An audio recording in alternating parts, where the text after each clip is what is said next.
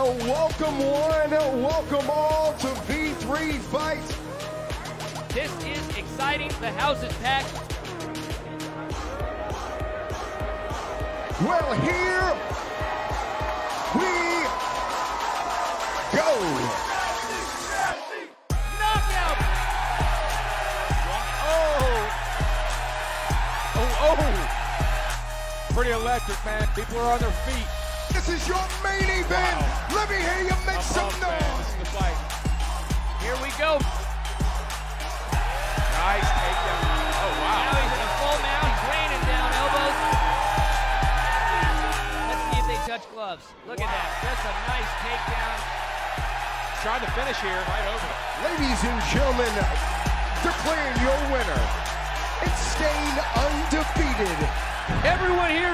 To witness V3 history.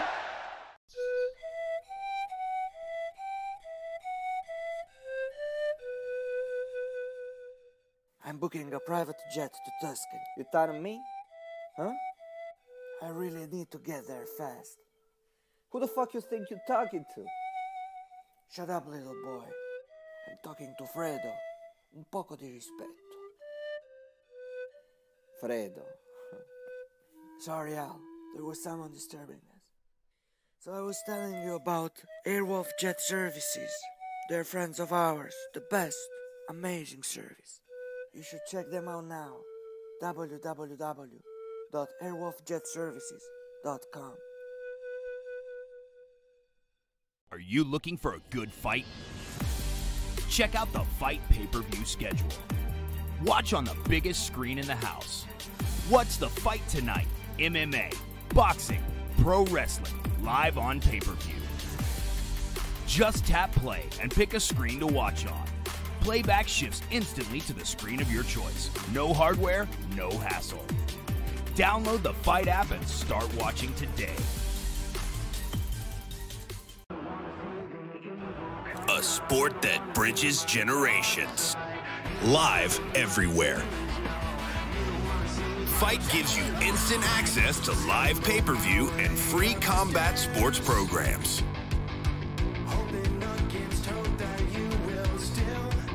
Check out our combat sports schedule at fite.tv. FITE. Start watching.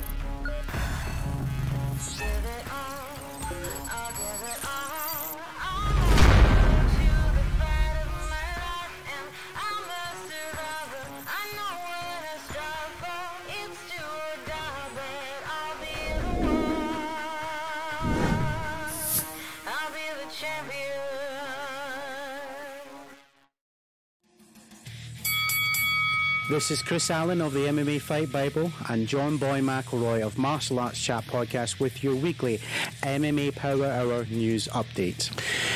In the MMA news this week, Rose Namajunas has thrown some doubt on her fighting future, but if she decides to carry on, what should come next? The former strawweight champ was clearly questioning her next move following her shocking knockout loss to Jessica Andrade uh, this past weekend's event at UFC 237 Brazil. Wondering aloud if she had the desire to continue competing, but emotions certainly run high in moments such as that, and she is still clearly one of the best female fighters on the planet, so let's not get that in doubt. So if she decides to continue on, where does her career stand? Well, she looked phenomenal in the opening round, we've got to say, against Andrade. They ultimately suffered a knockout loss, and her title reign ended with just one defence of that title. Is that enough to win a rematch with Andrade? Should Namajunas choose uh, to follow such a path? Who knows, man? I hope she doesn't give up fighting because she, she is one of the one of the greatest fighters in the modern era, and it would just be good to see her back. Maybe just some time off roads, heal up, man. It was a, a nasty spike to the head. Let's see how you got on. If you haven't seen the fight, though, please do watch it. This past weekend was uh, was a barn burner, as they say. Uh, over that fight weekend as well, we saw BJ Penn uh, set a record for the most amount of losses. This losing streak, man. Why is this guy still fighting? I've no idea. Losing a unanimous decision this time to Clay Guida. It's been an unfortunate turn for Penn, though. The man, once known as the prodigy, like we said, he's only won once in, in, in the last decade. I think that was was at Matt Hughes at UFC 123. Um, he's also had a pair of retirements that haven't stuck. With this latest loss, fans like myself once again wondering why doesn't he just hang up the gloves? But one of Penn's former opponents, fellow welterweight champion himself, beat, uh, Matt Serra. He says he understands what the guy's going through now. He was speaking on the UFC Unfiltered podcast and he said, Dude, let me tell you, I'm 44. I fought him when I was 28. The guy has been around, man. Serra said the guy has been around, and, and it's not just with the money either with BJ. I just think he, he does this for so long when it comes down to what's next. That's just what you're used to. It's like a routine. He said, It felt weird when I stopped. Uh, like, I don't have a fight coming up even in a few months. What's going on? What am I going to do with myself? So, I mean, I guess there is probably going to be that in BJ Penn's mind. But on the back of this Clay Guida loss, the man of uh, Penn, obviously, as we said, Clay Guida, he's now calling out Nate Diaz. He may as well calling out Santa Claus. Because in case you didn't realise by now, folks, the Diaz brothers are never fighting again. Much like BJ Penn, they have now become a meme. Sad, it? Please retire, BJ. Please retire, BJ Penn. Please. Retire again, but stay retired. Less than two months ago, we said goodbye to veteran Ross the Real Deal Pearson of the UK as he finally decided to hang up the gloves after his last defeat. Ross the Real Deal Pearson did tell all his fans that this wasn't the end and he was looking to do other things. And I think if anyone didn't believe him, then well, they weren't really thinking straight that day. Ross Pearson thinks now it's time for him to have a go at a professional boxing career. He's already had his first professional fight, which took place last Wednesday in Australia. And as ever, the Real Deal did what he did best and he knocked out his opponent in the second round making this a very successful debut in this sport for Pearson. It'll be good to see what Pearson does going forward from here. Um, he was asked recently if this is just a one-off sort of thing or is this something he's really looking to do going forward. And he replied, I want to get to world level in this sport and he's, I'm serious, world level. I can fight anyone. I've got all the punches and durability and now it's about learning the sport, the combinations, patterns and timing of the fight. So Pearson, he had a long career in MMA with 36 fights in total and debuting back in the UFC in 2009. He has had a lot of time in the ring or the cage, a lot of experience with competition. So maybe this is the beginning of something beautiful for Ross Pearson and us as the UK fans would love to see him continue to fight, improve his career until he does finally re- finally retire from the combat sports altogether and pass his knowledge on through coaching and other means. As well as a fantastic card of UFC last weekend, let's not forget that Bellator also held a magnificent event with Michael Chandler defending his title against Pitbull and also MVP taking on Douglas Lima as well as many other fights on that card. Michael Chandler, you know, he went in there as one of the favourites thinking he'd be able to defend his title, especially with his performance he's had recently. And the outcome wasn't what a lot of people may have thought with Pitbull coming through with a great win, TKOing Chandler where many thought was a quick stoppage, but Chandler being the humble man that he is said, look, this a short a, a quick stoppage could have happened to me. He said it could have been exactly the other way around. This time time it was for him. He won the fight at the end of the day, and now it's up to me to try and go get go back and get my title. So now Pitbull becomes the second ever champ champ to be in Bellator alongside um, Ryan Bader. So it'll be interesting who will be fighting next. And I know Brent Primus, with his recent win against Tim Wilde a couple of weeks ago at Bellator Birmingham, has been gunning for Michael Chandler. And even if he may be the obvious choice to be the next one to fight for this title, he has expressed that he does want to fight Chandler with or without the title, as he wants redemption for their fights they've had in the past. This one on one would be now going into a third fight with them, making the trilogy complete. So I'm sure this is the fight that will happen next, but we'll have to wait and see. Also, Michael Venom Page taking on Douglas Lima. Sad story for us UK fans, but at the end of the day, what a win for Douglas Lima. What a fantastic highlight, highlight reel knockout of one of the most watched up and coming fights in Bellator at the moment in Michael Venom Page. MVP come forward as he always does, aggressive. He got hit by a nasty leg kick by Douglas Lima, dropping him. And as he was sitting, as he was standing up, which is an unusual knockout to see, Lima caught him with a swift uppercut, it looked like, which caught MVP right on the chin, knocking him clean out as well, giving Lima the win and MVP's first loss. You can imagine MVP would not be happy about this, but he has stated that if he was going to lose to anyone, you know, he's glad that it is it was Douglas Lima. And I quote from Michael Venom Page If I had to take one L in my career, I'm glad it was with this warrior Douglas Lima, an amazing martial artist and person. I felt like I was in control the whole fight, made a mistake by standing up incorrectly, and at this level, it only takes one bad choice and I paid for it. But I'm still smiling and even more motivated to get back in the cage and correct that mistake. It'll be interesting to see what's next for, next for Michael Venom Page, and I'm sure going forward now, Douglas Lima only has eyes for the title. Nate Diaz is finally back, and he's going to be taking on Anthony Showtime Pettis this August. It's great to see Nate back in the cage after all his wars he had with Conor McGregor, to see him take on a different opponent and make his rise back to the top as he's so absolutely capable of doing. But he's not going to be facing anyone easy. He's facing Anthony Showtime Pettis, you know, former champion. And uh, even this fight is at 170. Pettis has had success at this weight class already, defeating Stephen Wonderboy Thompson in a very tough fight as well. So it's a very tough one to choose in this. Nate's been out for a while. You know, Pettis has been active. He's been doing well. Really, really looking forward to seeing the outcome of this. But most importantly, it's great to see Nate Diaz back in the organisation, fighting again and working his way towards a title again potentially. The rest have called it. This is Chris Allen and John McElroy with your weekly MMA Power Hour news update. Coming up next is another knockout episode of the MMA Power Hour with Colin and Adam. Until next time, we're tapping out.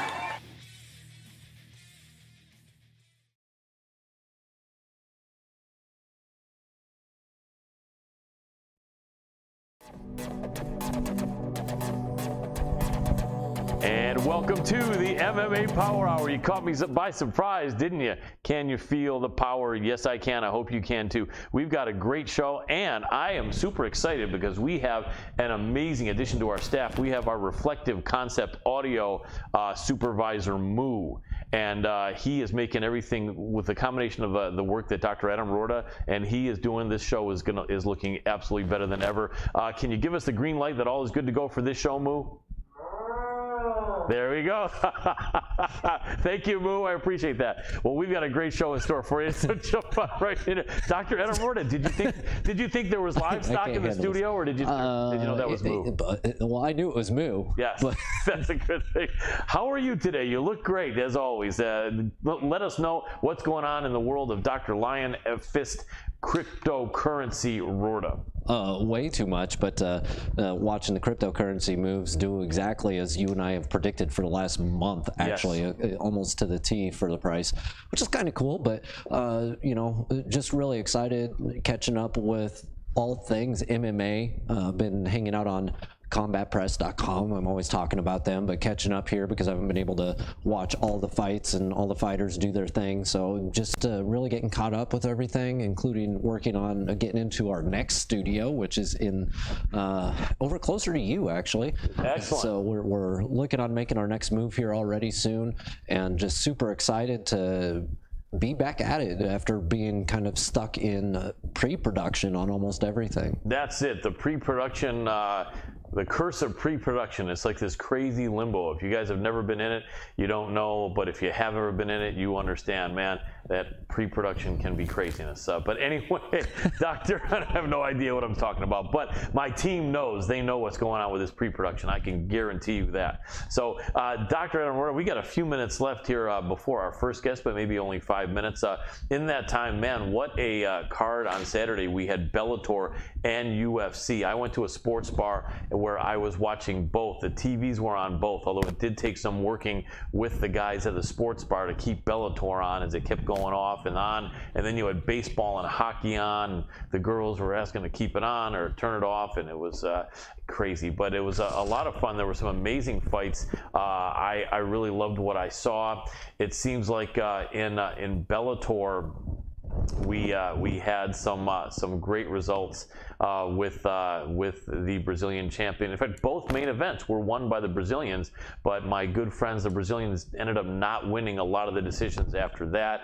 Unfortunately, Jose Aldo, who I was hoping would win, came up a little bit short. Anderson Silva was looking good until he got uh, got kicked in a leg and uh, possibly a leg that had been broken years ago. And uh, so, you know, uh, not really surprised with Anderson. I was definitely surprised with Jose, but uh, Volkanovski is, I mean, he's a beast. Yeah. Uh, you know, you see the rankings below here. It might be a little controversial with some of you, but I, I personally put him at number two spot now. I mean, he's only got one loss and, and is really just making a name for himself the last couple fights. And, and it's, it's just super impressive to see how he's laying it down. Yeah, absolutely. He is. A lot of people would think that uh, Zabit Magomedsharipov might be uh, one above him, and uh, and I understand if you do, but definitely Volkanovski is a tough, tough guy. Just a just a rugged, tough dude.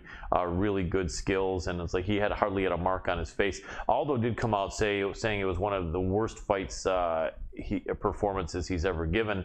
Uh, I don't think it was that bad, but it did seem like he wasn't pulling the trigger, you know, uh, as much. But definitely he didn't get smashed or annihilated by any means. So uh, Anderson Silva, yeah, 44, that may be time to call it quits. Uh, his leg just gave out, although it was a pretty hard kick, and Jer- Jared Cannonier is no joke. That's that's for sure. Uh, I did call it right for the past couple of years on this show when I said Michael Venom Page, MVP, is punking all these fighters. Wait until he gets in there with Douglas Lima.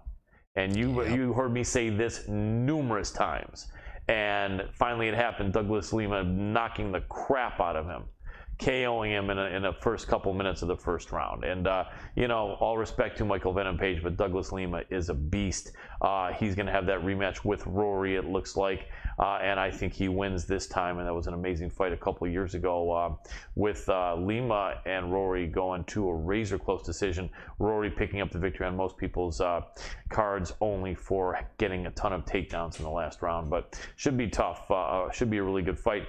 And but that will be actually I've jumped ahead of myself. That will be if Rory does get by Neiman Gracie and that's going to be coming up first. Still feel I still feel that Jon Fitch should be in there. Uh, I do too. I feel he yeah. should be in there going up against Neiman yeah. Gracie. But yeah. hey, it is what it is, yeah. and, and it, that'll be a, an awesome match to watch. I, I do feel he'll get right past Neiman. Yeah, absolutely. And then a controversial finish with. Uh, with uh, Patricio Pitbull Freire uh, catching Michael Chandler behind the ear early in the fight and then going to finish him and, and Chandler kind of defending himself with his arms up like this, kind of turtled up, which, you know, I'm going to ask a couple of our guests about tonight. Also, for people watching, what do you guys think?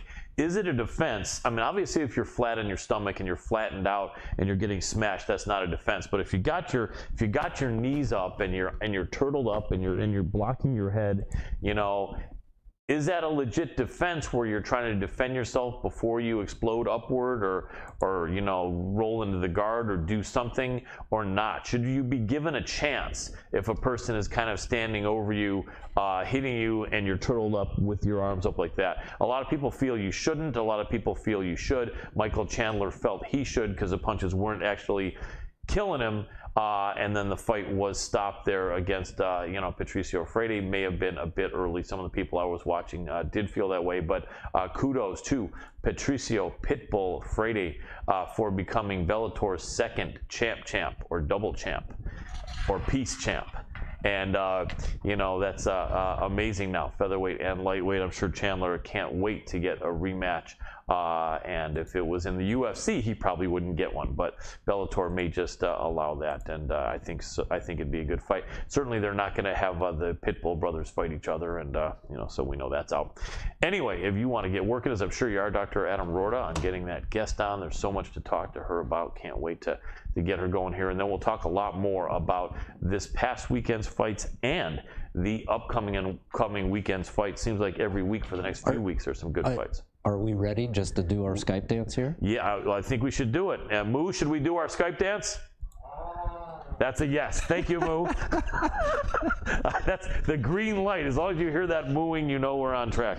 Okay, so uh, the Lion Fist, Moo gave us the green light, and now you give me the green light. I see that green light there, and uh, we'll get uh, the Skype dance going as soon as you're ready. Where the heck is that? I'm trying to dance while I have a notebook in my hand. Here it is. All right, now we're talking here. That moo. That's it. Awesome move. Thank you. Uh oh. Uh oh. Does that mean she? You might need to send her a quick message. Yeah. This does happen, boys and girls. Before we get in here, I want to go ahead and give a huge shout out to Combat Press, where Hey, you Mason, can go over to trying to Skype you for the interview. combatpress.com, where every fight on. has a story. I go to them for their news with all things combat sports related. I think you should too. It keeps me up to date everywhere with this stuff. And we're talking every organization, kickboxing, boxing. Like I said, every single combat sport is presented there on their website. So go on over to combatpress.com. Also want to go ahead and give a huge thank you to DigiSouth for helping out with the social media. Everything social media related, you can go on over to digisouth.co and start your plan with them. Social media marketing, as I said, I was so impressed with the way they handled thing. I handled things. I went ahead and became a partner myself, and uh, I, I can help you out. If you don't want to uh, deal with the people you don't know, go ahead and send me a message privately on Facebook, Instagram, Twitter, wherever you're following me. Uh, even hit us up on YouTube. Colin will get me stuff over if he sees it. Uh, and then also, I want to say thank you to our awesome sponsors over at CrossTrainMMAFighter.com. They've been supplying T-shirts for us, and uh, if you want to purchase an MMA Power Hour T-shirt, you see us wearing it sometimes. You see it up on our Instagram. Go on over to cross, crosstrainmmafighter.com. Uh, you can order the crosstrainmmafighter.com t-shirts, or you can send an email and get a hold of uh, Colin. Actually, it's his company. He went ahead and purchased them. What was it? About a year ago. Yeah, absolutely. I was uh, liked what they were doing so much. I not only was interested, I became an owner. Wait a second, you beat me to that line with Digi South, but I think I beat you to actually doing it uh, with Cross Train MMA Fighter. Yeah, and we have our Cross Train Fighter line uh, out there as well. So hit me up. Prices are very reasonable and uh, top top quality shirts. Really not the junk that uh, some other companies put out there. Let's see what our guest says. She yeah. said she had something come up last minute. Is there? Oh my goodness, you're kidding me. Oh no. Then we reschedule for Friday. She's not home at the moment. No, we only do Wednesday shows. um, Well, it, it is what it is. Well, hey, uh, real quick, while Colin's sitting here figuring some stuff out, I want to go ahead and give one more quick thank you to Warfighter Hemp. You can go on over to warfighterhemp.com where you can get some CBD products and hemp products. Uh, for 50% off, you can go ahead and use the code MMACBD, and they will give you 50% off, half half off, however you want to look at it. I, I say the the price is half full, but well, just check them out. They, they've got some awesome CBD, high quality products, no impurities.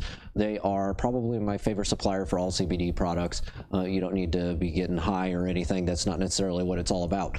Uh, go on over to there to uh, Warfight, warfighterhemp.com. Yes, yes, yes. Um, let's see what can happen. Uh, let's see if she may be able to come on a little bit later, but maybe not. Unfortunately, yeah, she's someone that that we really appreciate and respect on the show. She's been on twice before. She's she is a super cool person and reliable. Something came up um, with her. I know. I, I you know it, it's it's you know all res- all it is what it Macy. Things happen. She asked if somehow she can do this Friday because she doesn't you know doesn't know that we really just go live Wednesday nights except for on a really rare occasion uh, when somehow we can get the studio. But Um, let's see. Uh, okay, so looks like she's wanting to see if she can come on next Wednesday. So yeah, it looks like she won't be able to do it tonight. So we're going to uh, absolutely graciously accept her offer uh, for that. Oh, that actually works out perfectly. It does. We're- It does. wow.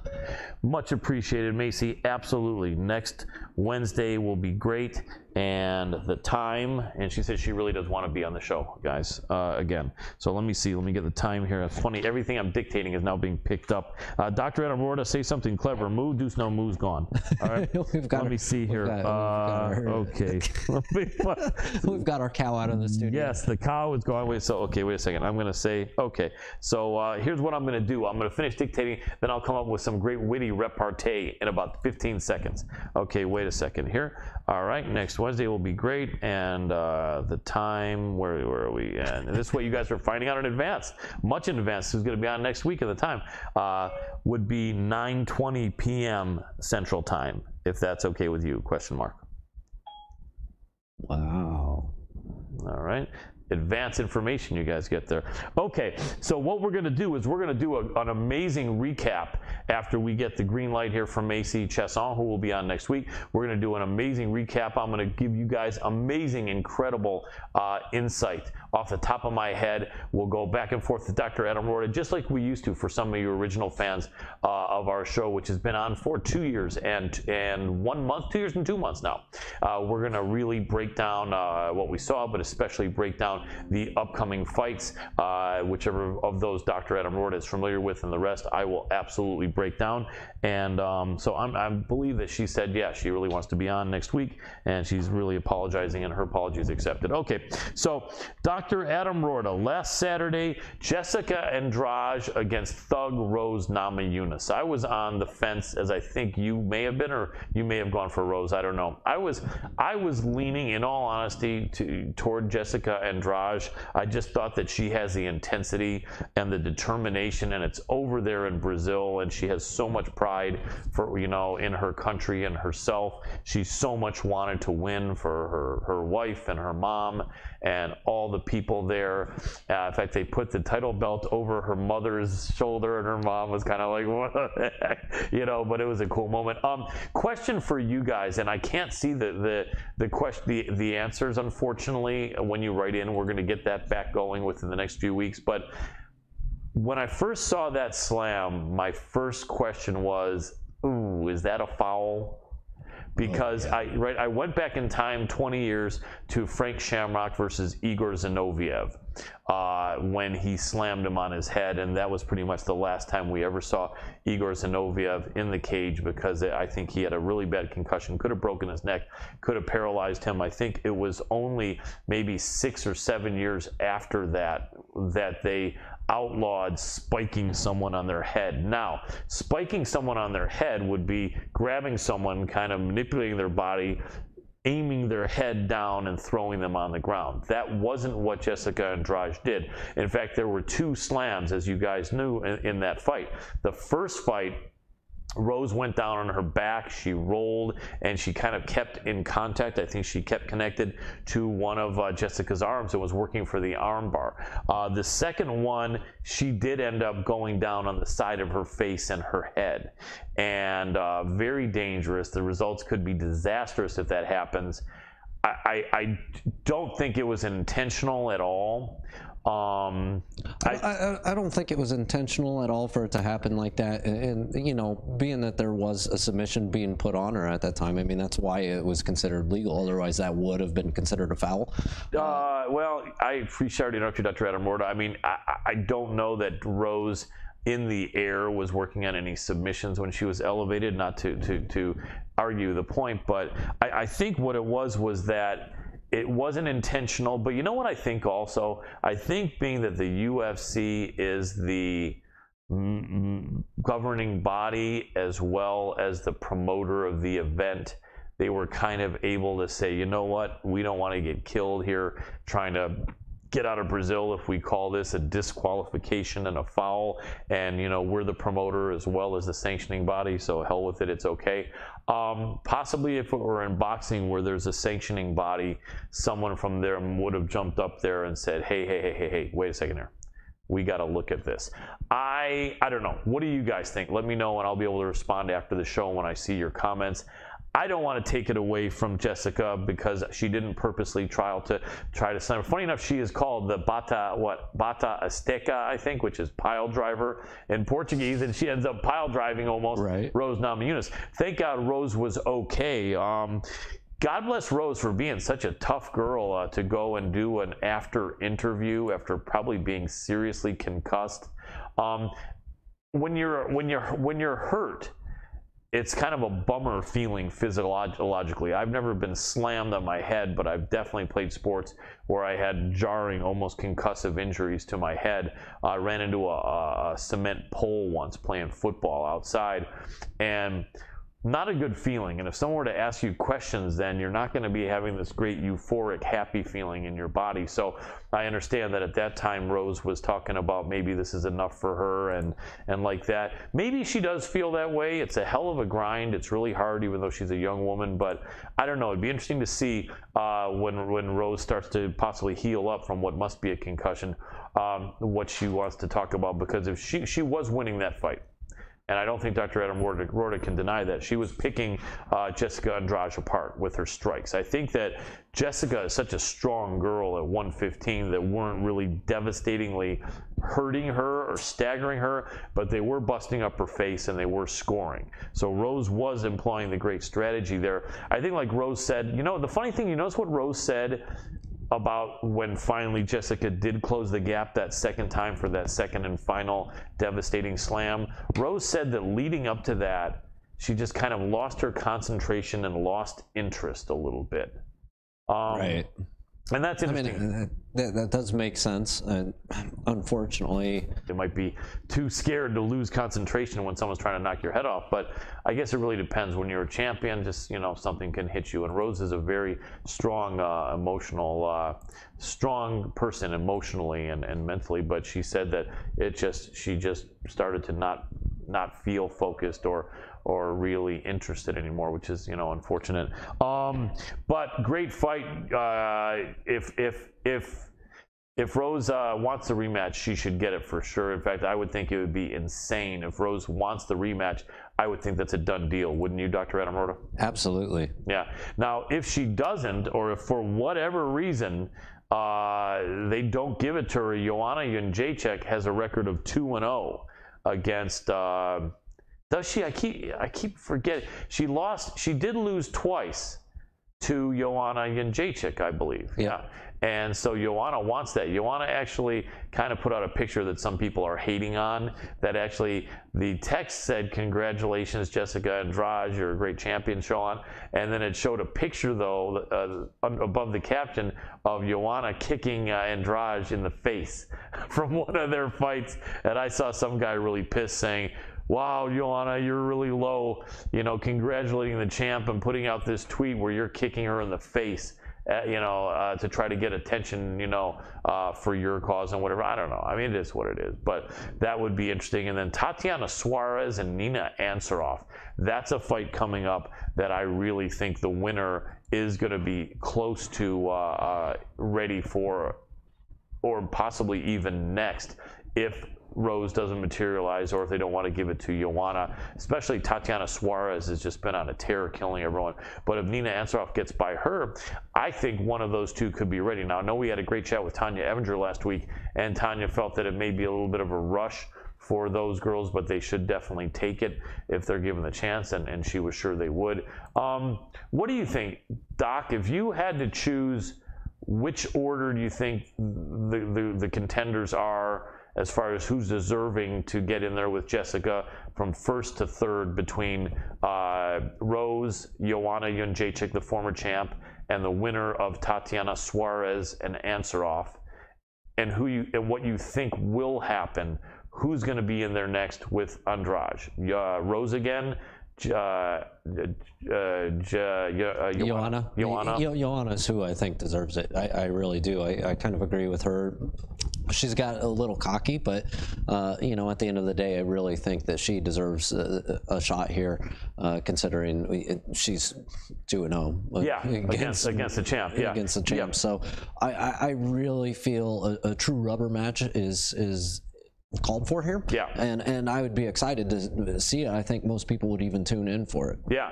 Now in Brazil, I'm sure is where uh, the champ Andrade would love to have that fight. I'm going to bet you almost anything.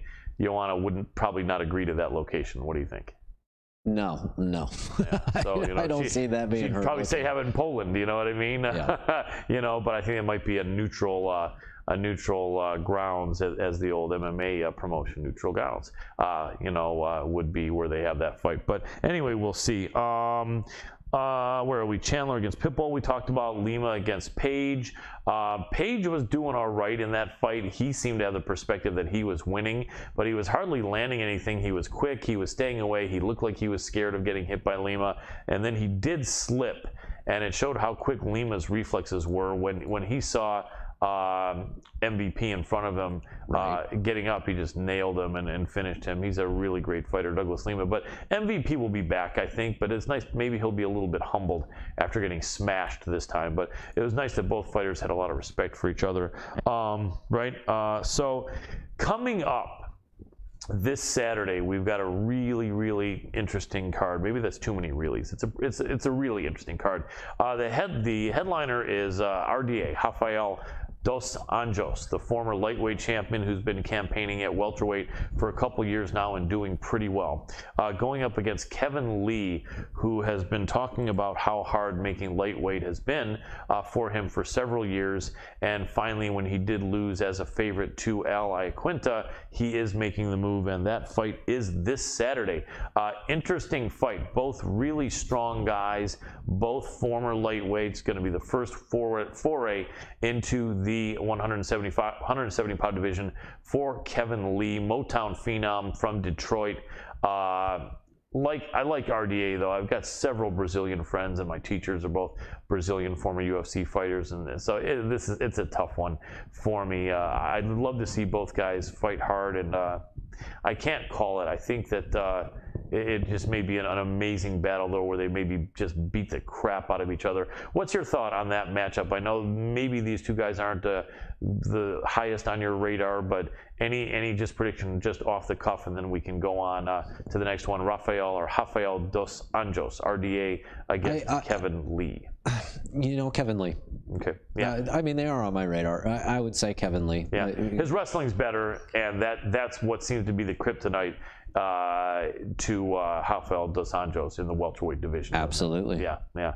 Okay, Aspen Ladd against Sijara Eubanks. Sijara Eubanks is our good friend. Uh, we had her on the show a few times. We'd love to have her again. She's trying to coordinate uh, every everything that she can as far as her her media responsibilities, and it's more uh, than usual now that she's got this big fight. But she absolutely uh, responds whenever we hit her up, and and and thanks us uh, for being behind her, and we will remain behind her, and hopefully soon uh, before summer or during summer we can get her right back here on the show. And uh, she had lost previously to Aspen Ladd. I'm going with Sijara Eubanks for a uh, an impressive victory. I'm going to say by stoppage, maybe even by submission, uh, and uh, and I feel pretty confident in that. Dr. Adam Rorta, what's your thoughts? Sijara Eubanks, Aspen Ladd at 135. You know, this is a real tough one. I, I hate to uh, put a vote out there against uh, Sijara because I, I'm not going to.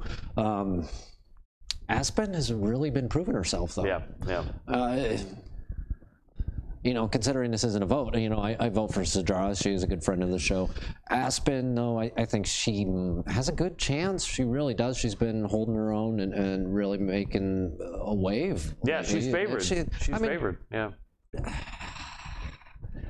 Aspen, uh, Aspen has more than a chance. I think Sijara, though, she's going to come back with vengeance. Yeah, I think, I mean, they fought a close one three years ago, and that was before Sijara was in the Ultimate Fighter house and really got on track. Now, many people will say she got on track killing it at flyweight, and now she's back at bantamweight. But the bottom line is, I think she got a great deal of confidence in her game and made some improvements and got some great, great people around her. Um, and uh, I, I think that she's going to show that here and uh, and beat the streaking uh, Aspen Ladd. Okay, uh, Megan Anderson, another former guest on our show, against Felicia Spencer, the Aussie. Megan Anderson, Aussie, Aussie, Aussie. Always love the Aussies. I, I think right, and and and and Megan is a cool person. Nothing against her but I'm, I'm, thinking Felicia Spencer here. Uh, Felicia Spencer, some of you may know, uh, won the Invicta featherweight title earlier. Was it earlier this year, Doc, or, or late last year? One of the two. I think it was about four or five months ago uh, uh, against a very game Pam Sorenson from Minnesota. A lot right. of great fighters over there, and um, and uh, she was not allowed to get have one defense even. In Invicta, they brought her over just like they brought over Verna Jandaroba. Jandiroba losing to Carla Esparza, who I was very happy with the win. She's with Team Colin Oyama, and we had Coach Oyama on the show, and he's a great guy, and uh, very excited for Carla. I think though that this Invicta champion import is going to win. It's a tough fight. Megan is six inches taller, Dr. Adam. Six inches taller, a lot more reach.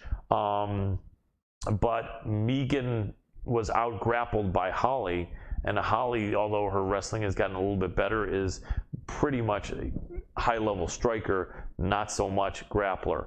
And so Felicia is a, is a tough girl. She's strong. She's a good grappler. I think she's going to grind out a win uh, against Megan here and then put herself in a in a good position to possibly be fighting for the uh, vacant featherweight title if if Cyborg's not there, or maybe fighting Cyborg. Should be interesting though. I know Megan is going to try her her hardest to win, and, and she could if she if put it this way, if like I said before to Tanya, if Felicia is uh, backpedaling near the cage and Megan throws a kick and Felicia's hands are not up, she may get a toenail in the eye. Let's hope not. Cat Zingano is still reeling, I think, from that. Hopefully, she is healing though and not reeling because we. I, you know what? I, am gonna have to go against you on this one. I think Megan's just gonna take it straight up. Oh wow! I I, I see a first round knockout from from uh, Megan, and it, it's really going to happen. Yeah. I, I mean, I, am putting my money on it. Okay. Well, we'll see. Uh, it's interesting because you're the wrestler here, mm-hmm. and, I, and, for and, me to say that, and you are picking the striker against the superior wrestler. Now, I guess in defense of, of your stance, I don't think many women had college programs where they were like D1 All American, but then some of them went to the Olympics, like Sara McMann. Yeah. I guess you could say Felicia Spencer's wrestling might not be akin to like uh, her male counterpart who was a D1, you know, national I, champion. I, I, would I would say she, she, is, but she's good. She's good, but maybe not that great. In other words, you're you're thinking too much reach, too much of the fact that the one with the reach actually has a phenomenal striking game, can grapple a little bit. Yeah. Uh, you know, it's not like she has a horrible wrestling game. I mean, Megan has definitely held her own there a little bit too. Uh, yeah. Actually, quite a bit. So I, I think her stepping up to the plate and, and really just throwing a few uh, massive strikes in the first round is all it's going to take to Fel- take Felicia out. Yeah, it could be right. Although, wouldn't you think that possibly? Um, uh, that possibly with Megan knowing she's in there against a good grappler, a, a better jiu-jitsu girl, and a better wrestler, that she may be a little bit tentative to start, or do you think Megan's just going to go out right away and say, "Let me take this girl out of here"? I would say if it were like three or four inches for her reach differential, I would say she'd be focusing on it more. I think she's going to be focusing on definitely keeping the distance and utilizing it to her advantage. I think she's going to do that. Uh, Felicia, I, I, think you made a, a great point. Is uh, she doesn't have nearly as much wrestling as, experience. I, I, think she's just as good, but uh, not nearly as much as a lot of these gold medalist Olympians. And, right, or the male uh, counterparts, yeah. So for Megan, all she has to do is just keep that distance and, and know when to strike, and, and it, she's going to be watching for the takedown as an advantage for the strike. I mean, Megan is just phenomenal with her striking, and, and I've I've been a huge fan of her since you introduced her to me, actually. Yep, yep. And and uh, you know, I've gone back and watched a lot of her highlight reels in Invicta, and, and just really tried to get to know her as a fighter and frankly, I, I, I just don't see Felicia coming in and being able to bring that level of fighting for her big UFC fight. You know, I mean, that, that debut fight really puts you at a dis- disadvantage. Ah, you're right. She may have an adrenaline dump. Yeah, yeah, yeah. yeah. And, and wrestlers, uh, I, I, I, don't see that much of an advantage to the the wrestler. Uh, pedigree, I guess, when when you step into your debut match in the UFC. You're talking about a whole new level. Your excitement level is way too high, and like you said, it's an adrenaline dump. The yep. second you get in there and you start moving, all of a sudden you realize you've been going off of that adrenaline, and it, you can't really help it. I mean, you can try to get yourself there, but until it actually happens, there's no real stopping that adrenaline. No, no, I, it, it's true, and uh, you know it, that could happen. It's an, I'm not going to say it's a the fight's a certainty. I'll still stick with my pick of Felicia Spencer, but uh, we shall see. It should be a very interesting fight. Uh, we then have our friend Zak Cummings, who has been on our show a couple times. Oh yeah, he, he was on just a week ago or so, a couple weeks, and he's going up against Trevin Giles. I got Zak Cummings for sure. The Missouri boy is going to take that one. Trevin Giles is on a streak, but doesn't have the experience or the level of uh, opponents that Zak Cummings has. I think this is going to be a big win for Zak Cummings. Oh, I, I would say absolutely yes to that. Uh, and, you know, I, am seeing that the UFC is putting a lot into pumping up Zak Cummings as well lately, which is really exciting. I mean, he deserves it a lot. He is one of my favorite fighters uh, because of his. Uh, Missouri Missouri background. So yes. I'm, I'm, I'm watching him very closely, and, and I actually have a lot of uh, mutual friends with him. Come to find out, so uh, just get to. Uh, watch his uh, evolution happen, and, and you know he's in it for the long haul still, and he's he's going to keep winning. I, yeah. I, and you know going up against uh, mm, I don't want to call him a tomato can, but for Zak it is. Yeah, I don't know if he'd say that about Trevin Giles, but For he, Zak may, he, he may turn him into one. Hopefully, he will. So, speak, here's a question: a little bit of movie trivia for you. For you, which classic movie uh, had the state of Missouri in the title? Give you a hint. It's from the 70s. I have no idea. Right. This was a movie starring Marlon Brando and Jack Nicholson together, two legends. The only time I ever called the Missouri Breaks. A very strange movie that apparently Brando improvised in in virtually the whole movie. And, and at one point he had a weird Irish accent. At another point he didn't. Another point for some reason he was dressed as a, a Native American. And the rest of the scenes he wasn't. He was Irish. It's an odd one. Jack Nicholson was young. Marlon Brando. Check it out. Missouri Breaks. Weird movie. Anyway, that's Missouri history there for you. Uh, Not okay. just Missouri, but that's movie history That's right movie. there. So- for you trivia fans, you definitely be tuning in every week because Yes. Colin does have a lot of these random tidbits, and, and it's Yes. really exciting. Uh, real quick, I want to say thank you to everybody that's here right now watching. Even though Macy was unable to make it, she will be here next week. I want to say thank you for hanging in there with us. Uh, definitely leave us some comments, give us a like, a share, uh, let your friends know that you're tuning in because we could use all the help in the world, and we thank you in advance for that because it really helps us out, helps us evolve the show, helps get us into that next studio, and really makes things move forward for us.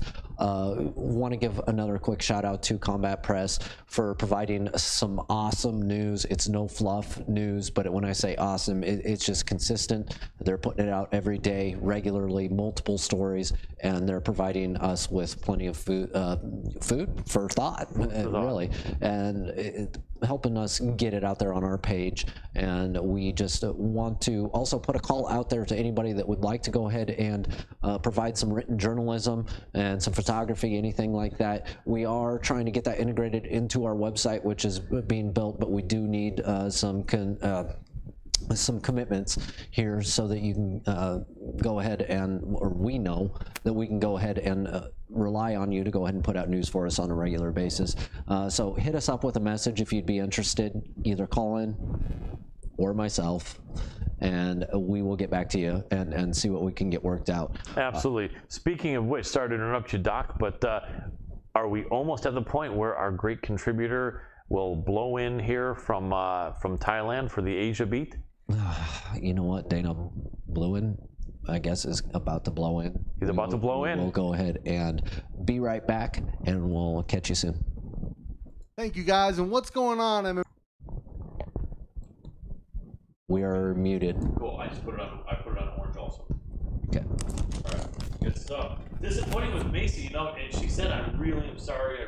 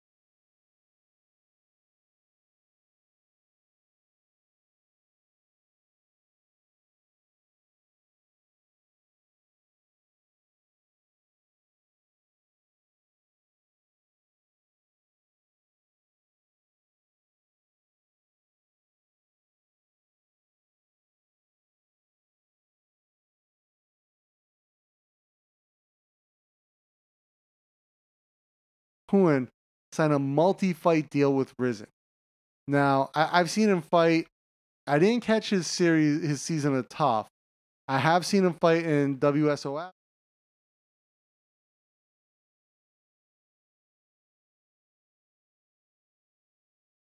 Thank you guys. And what's going on, MMA Power Hour? I'm Dana Bloom from the Asian MMA Podcast here in Bangkok, Thailand, with an Asian MMA update for you. Now, we had some good action going down over the weekend, and we had a new fighter signing. So, we're going to get into a bunch of stuff, but we got to start in Japan with Deep 89 Impact. And good card overall. It was fun. I, I enjoyed it.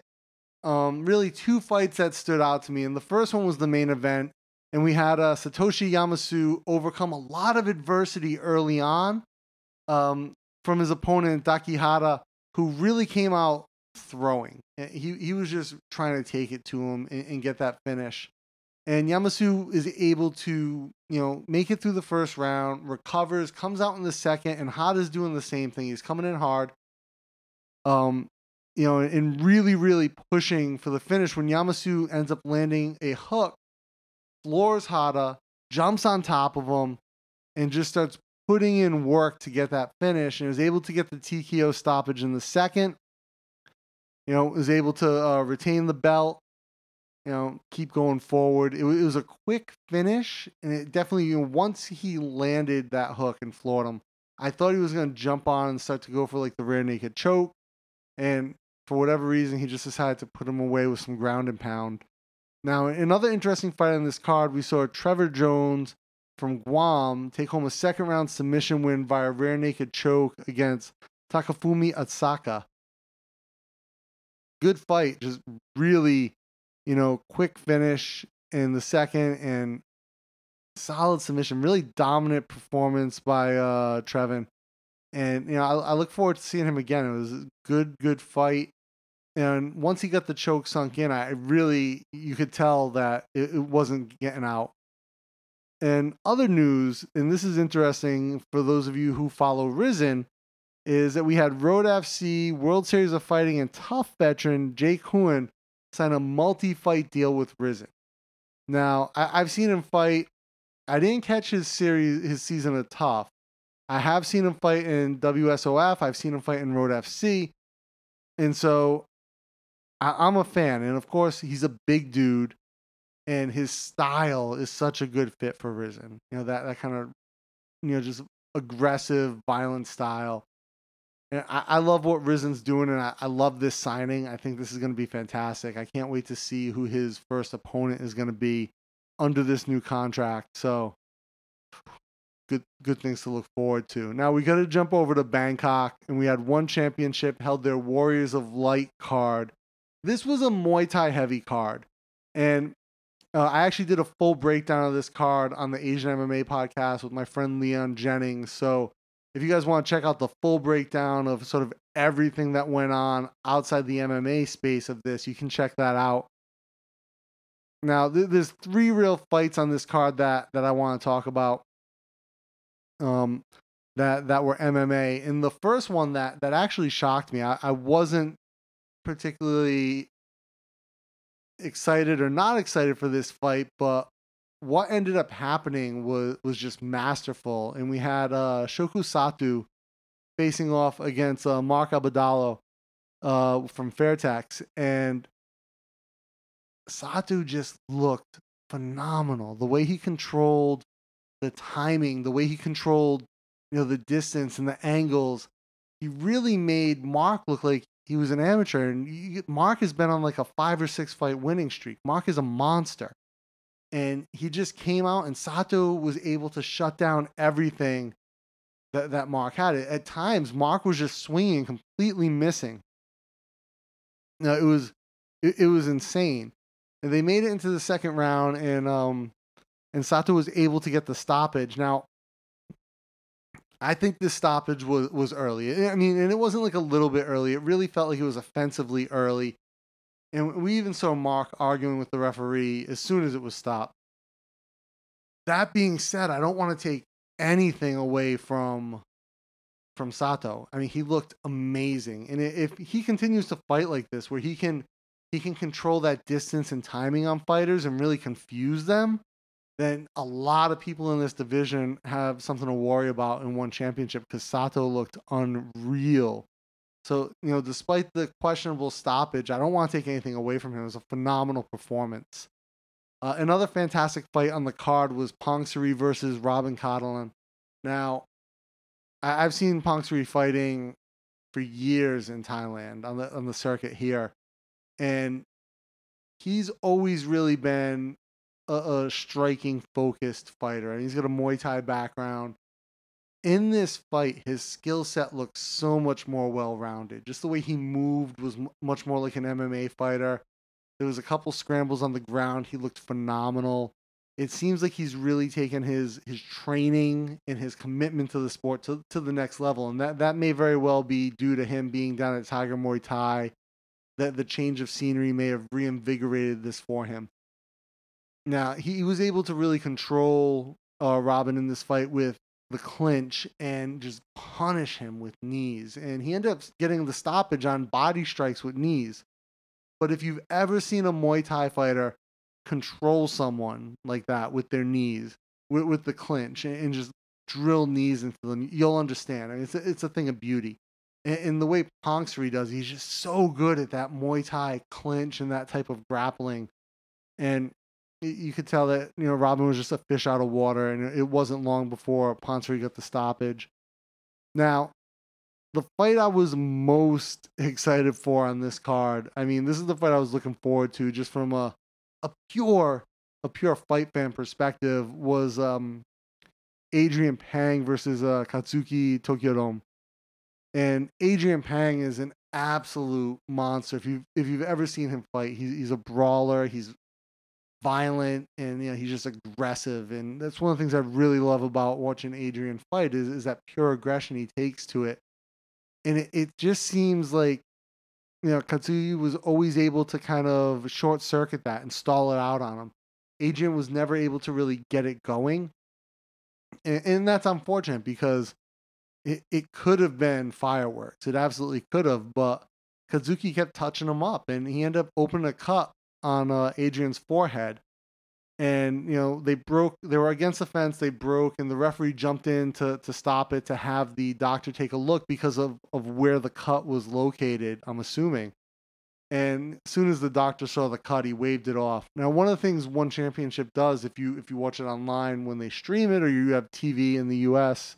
with a uh, TNT, I think they're on uh, they don't show the injuries and they so they don't show it and you don't get to see the cut uh, which is unfortunate i mean because you, you kind of you can't judge for yourself but i talked to uh, my friend leon who was actually at the event and, and was talking to adrian the next day and he said his whole face was just wrapped up and he was wearing sunglasses I, i'm assuming it was it was pretty bad um, tho- those are really the only fights that, from an MMA perspective, that stood out on that card. Uh, the main event was uh, Nong-O versus Suzuki for a Muay Thai championship, and it, it was probably the most one-sided fight of the night.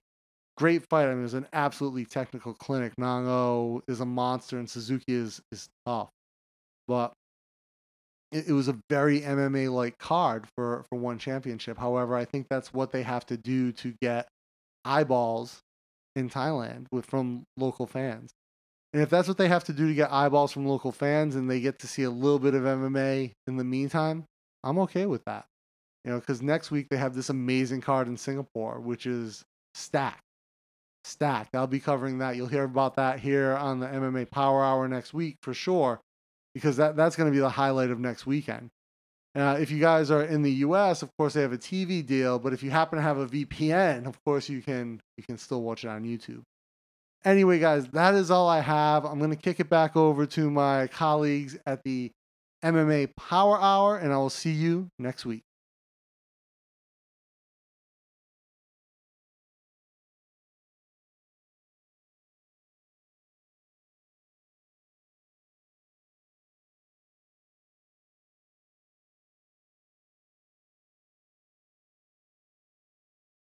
You are awesome. Really, really appreciate all the great work you do, brother. Thank you so much, direct from Thailand, one of the most respected MMA commentators and uh, and journalists in Asia. So Dana Bluen, thank you so much. Also, I was remiss in not thanking our mates early on, two very respected journalists in the United Kingdom from Scotland, John McElroy, and from London, England, uh, Mr. Chris Allen. So all three of you are so valued and appreciated and, and you know thank you so much. And i hope you guys like the work that they do and uh, you know they're just you know really important parts of our team along with me dr adam rorta and our whatever the hell reflective audio supervisor uh, conceptual. Conceptual reflective audio supervisor moo who's not here otherwise you'd hear moo. And thank you. That was dr adam rorta mooing but it still sound, sounded good. Dr adam rorta what uh, what the heck can we say? All kinds of excitement going. We still have time left. uh, here between uh, Dana Bluen and uh, and uh, our next guest of about maybe 20 minutes uh, or so. Uh, what shall we do? What shall we do? That was an old comedy line. Do should I see if our guy might want to join us a little bit early, Doc? What do you think?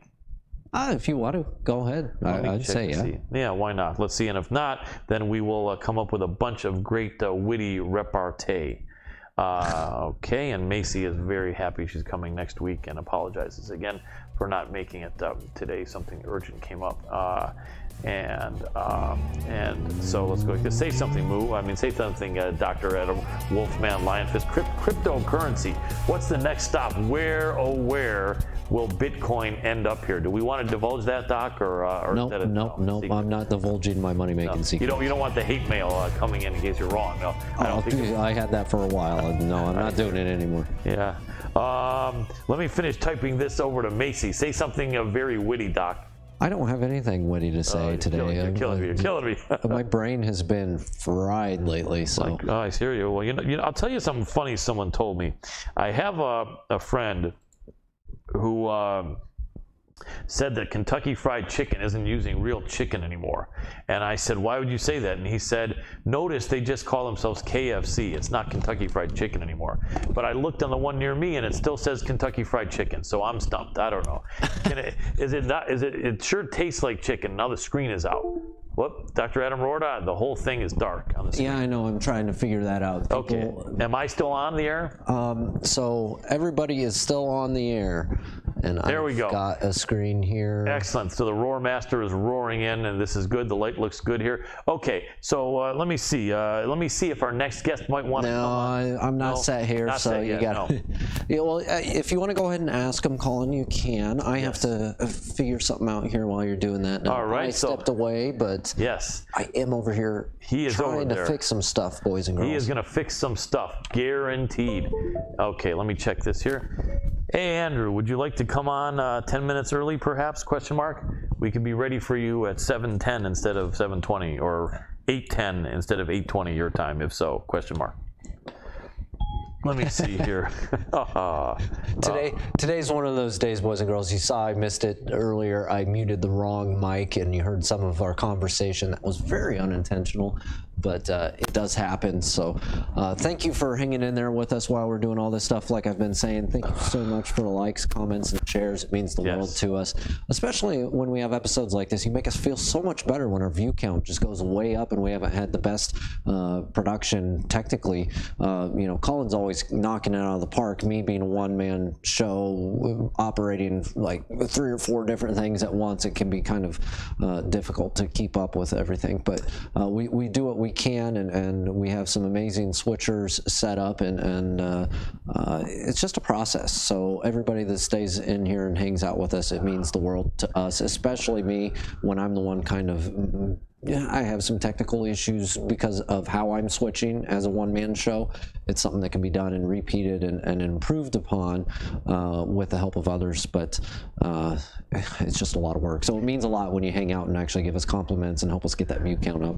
It really does. We really appreciate it. Now, Doctor, I'm, I'm looking at a completely blank uh, monitor, but uh, as far as you're aware, I'm still on camera and uh, and um, and can be heard. Is that right? Absolutely. Okay, I, I, see nothing in front of me, but anyway, uh, nothing we, at all. Nothing at all. Okay. So, but we, uh, assuming we're still on here, uh, we are very happy that we have Moo here. But Moo is actually running the grid for the city of Los Angeles, so he's having to make sure people's electricity. no, no, he's doing other stuff. He's supervising uh, other things, and Dr. Adam Rorta is pretty much handling this himself here. Do you uh, see anything right now? No, I see nothing on the uh, monitor at all. Okay, well, I'm going to put you on. You go ahead and carry some conversation for a moment, and uh, I will uh, be back, boys and girls. But I got to fix this monitor for Colin. We just had a major glitch for some reason. All right. Yep. So I'm going to pretend, or I think that I may still be on here. So uh, let me see. Let me re refer to my notes here. Uh, what does this? Nothing. Okay. That's fine. I should have a cup of coffee here or some uh, act like, you know, like in the old TV shows where someone's sneaking a cigarette. I don't smoke, but it'd be funny. Uh, okay, so we are looking at Henry Cejudo against Marlon Moraes. This is coming June 8th. This is not the next card or the one after that, but June 8th. Really looking forward to that. Actually, I, I do digress or I do get ahead of myself. Uh, the Sweden card with our good friend Tonya Evinger against the elbow queen Lina Lansberg is going to be the card after this Saturday. Saturday. Really looking forward to Tonya uh, showing what she can do and uh, and getting her first UFC win. So Tonya Evinger uh, by ground and pound is my pick against the very uh, tough and skillful and charismatic Lina Lansberg from Sweden. Swedish girls not known for being especially tough, but Lina is someone that has disproven that. And uh, and so from this point on, as far as I'm concerned, Swedish girls are very tough. Lina Lansberg is a true badass, the elbow queen. All respect to you, but Tonya Evinger for the win.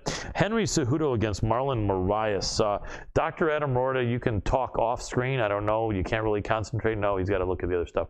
Uh, Henry Cejudo has been killing it at 125, uh, edging out Demetrious Johnson in a fight I saw um, live and in person and, and could have gone either way, but really excited. He's a great fighter. At 135, he's definitely short in stature. Not that that means the world, but. Uh, against uh, Marlon Moraes, you know that's going to be tough. Marlon has just been just hitting it out of the park, smashing everybody, and uh, is a, a, really, really exciting fighter. He is actually favored, I think, over Cejudo because this is going to be at 135. So, Dr. Adam Rorta, now that you're back, I know you love Henry Cejudo, but when you take him out of his weight class put him up 10 pounds against someone who is arguably the best bantamweight out there today who's been absolutely annihilating everybody.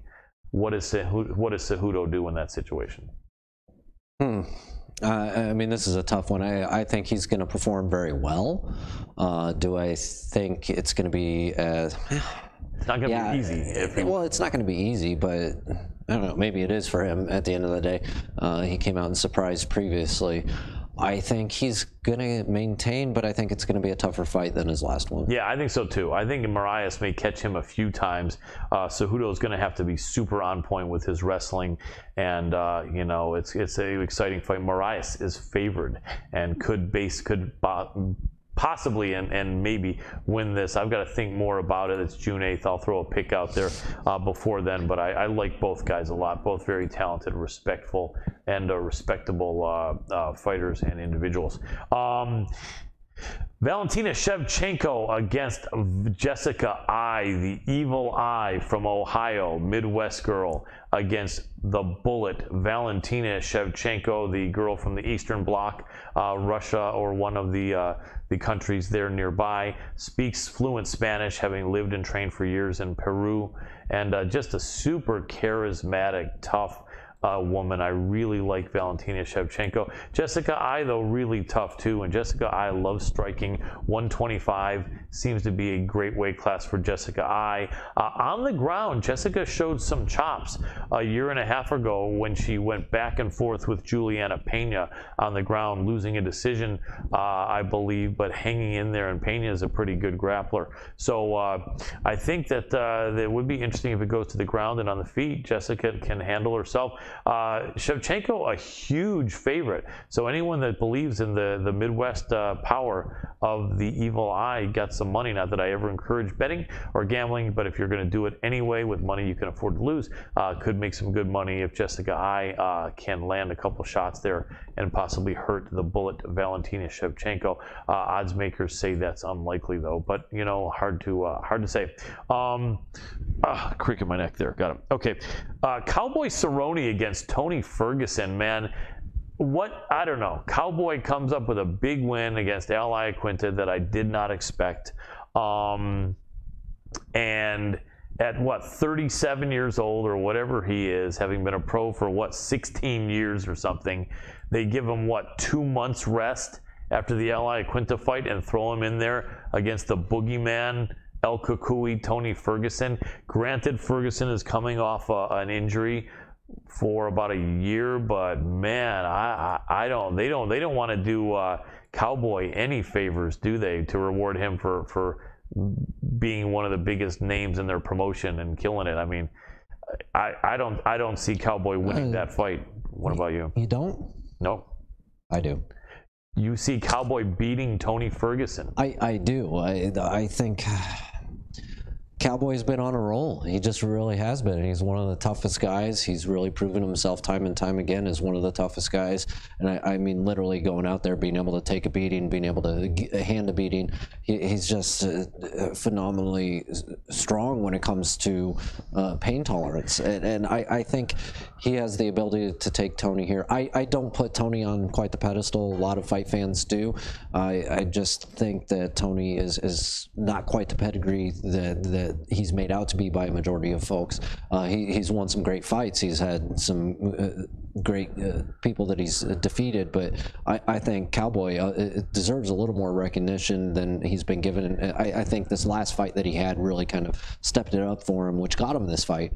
But it's But that's just a six-week turnaround. I mean, e- even though he was controlling the fight with Al Iaquinta, he did take some abuse. He did take some punishment, and and it's not like he's 25 years old. I literally think he's he's older than you. He's like 36, 37, I think, or somewhere around there. Or anyway, I don't know. I, I if he can if he can pull this off, then they should give him Conor McGregor. Um, you know, uh, I don't know. Maybe the fact that he went up at, to welterweight and and was just you know out muscled up there, and now that he has a new baby, he's fighting for, uh, has got that motivation. It's a re- reinvigorated cowboy at 55.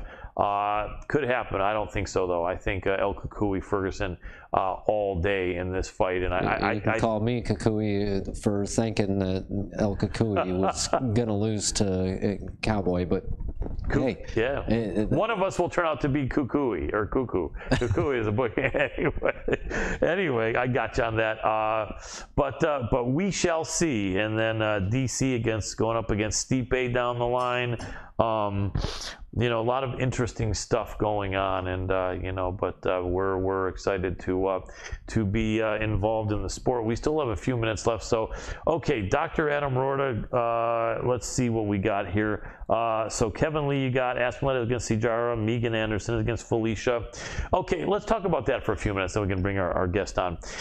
Megan and Felicia. Here's where that division stands. Amanda Nunes, the champ champ, said she doesn't have interest in, in going back to 145. Uh, Tonya Evinger gave me news that she saw somewhere that Amanda said, however, for $3 million, she'll fight Cyborg again in the rematch.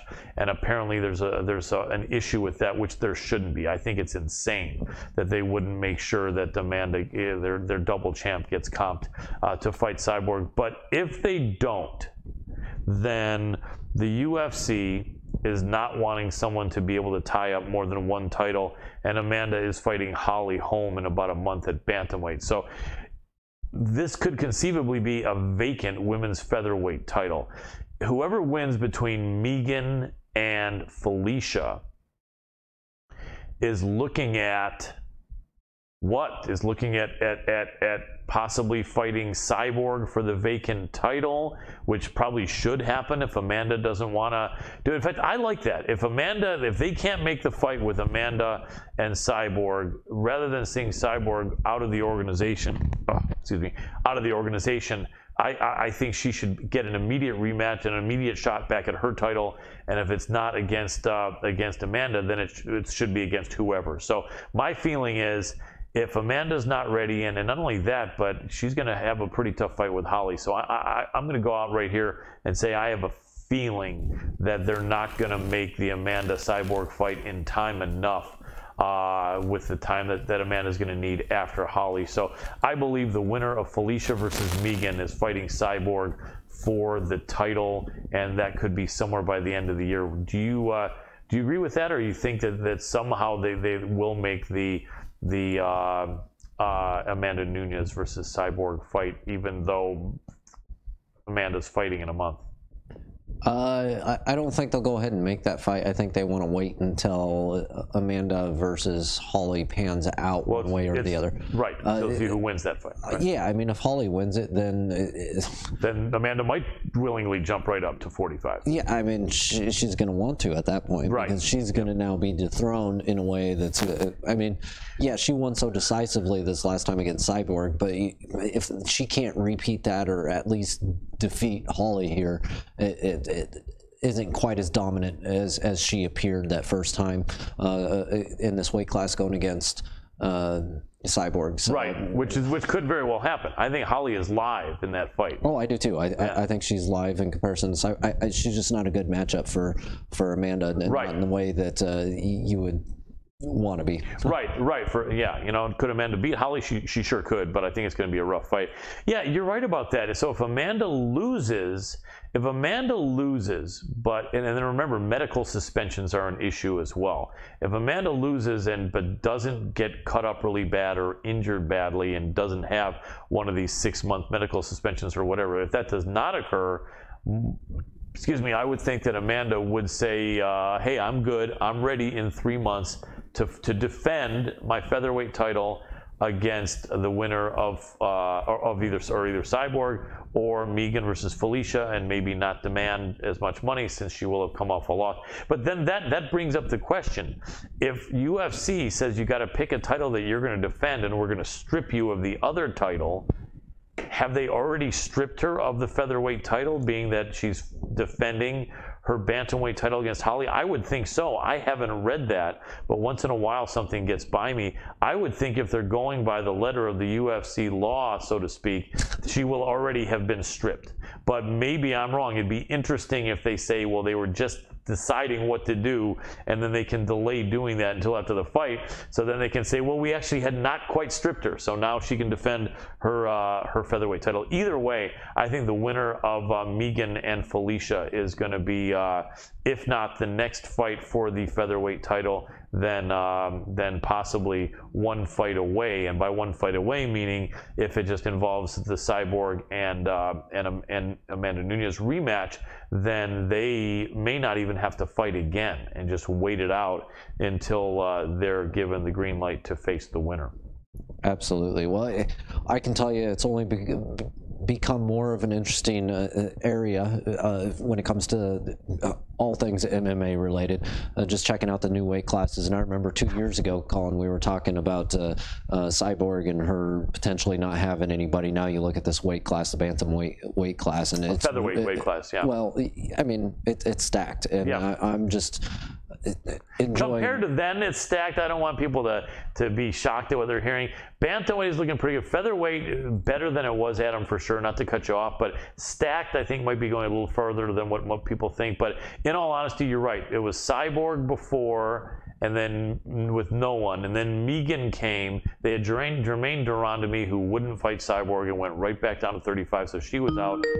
Anyway, is that our next guest Skyping us? It sure is. Let's uh, let's answer it. Hi. What's happening? Can you hear me, Andrew Tennyson? Hey, how's it going, guys? Dude, going very, very well. Thank you for Skyping in. We were just about to Skype call you. Welcome back to the show. It's been nearly two years, hasn't it?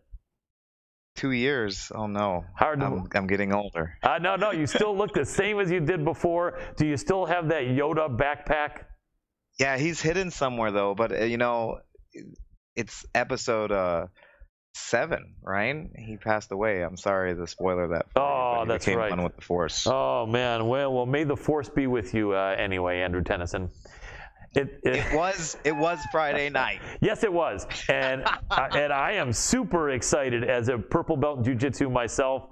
Uh, not that you are that, because I would imagine maybe you're a higher belt if you want to disclose that. You don't have to if you don't want to, but Oh, oh no no no no! I never I never like talking about belts. no need, no need about belts. Up But or it- right, exactly. But I I love when I see a gogoplata. The last time I saw one was uh, was if you probably remember uh, Nick Diaz over in Pride, I think against Takanori Gomi.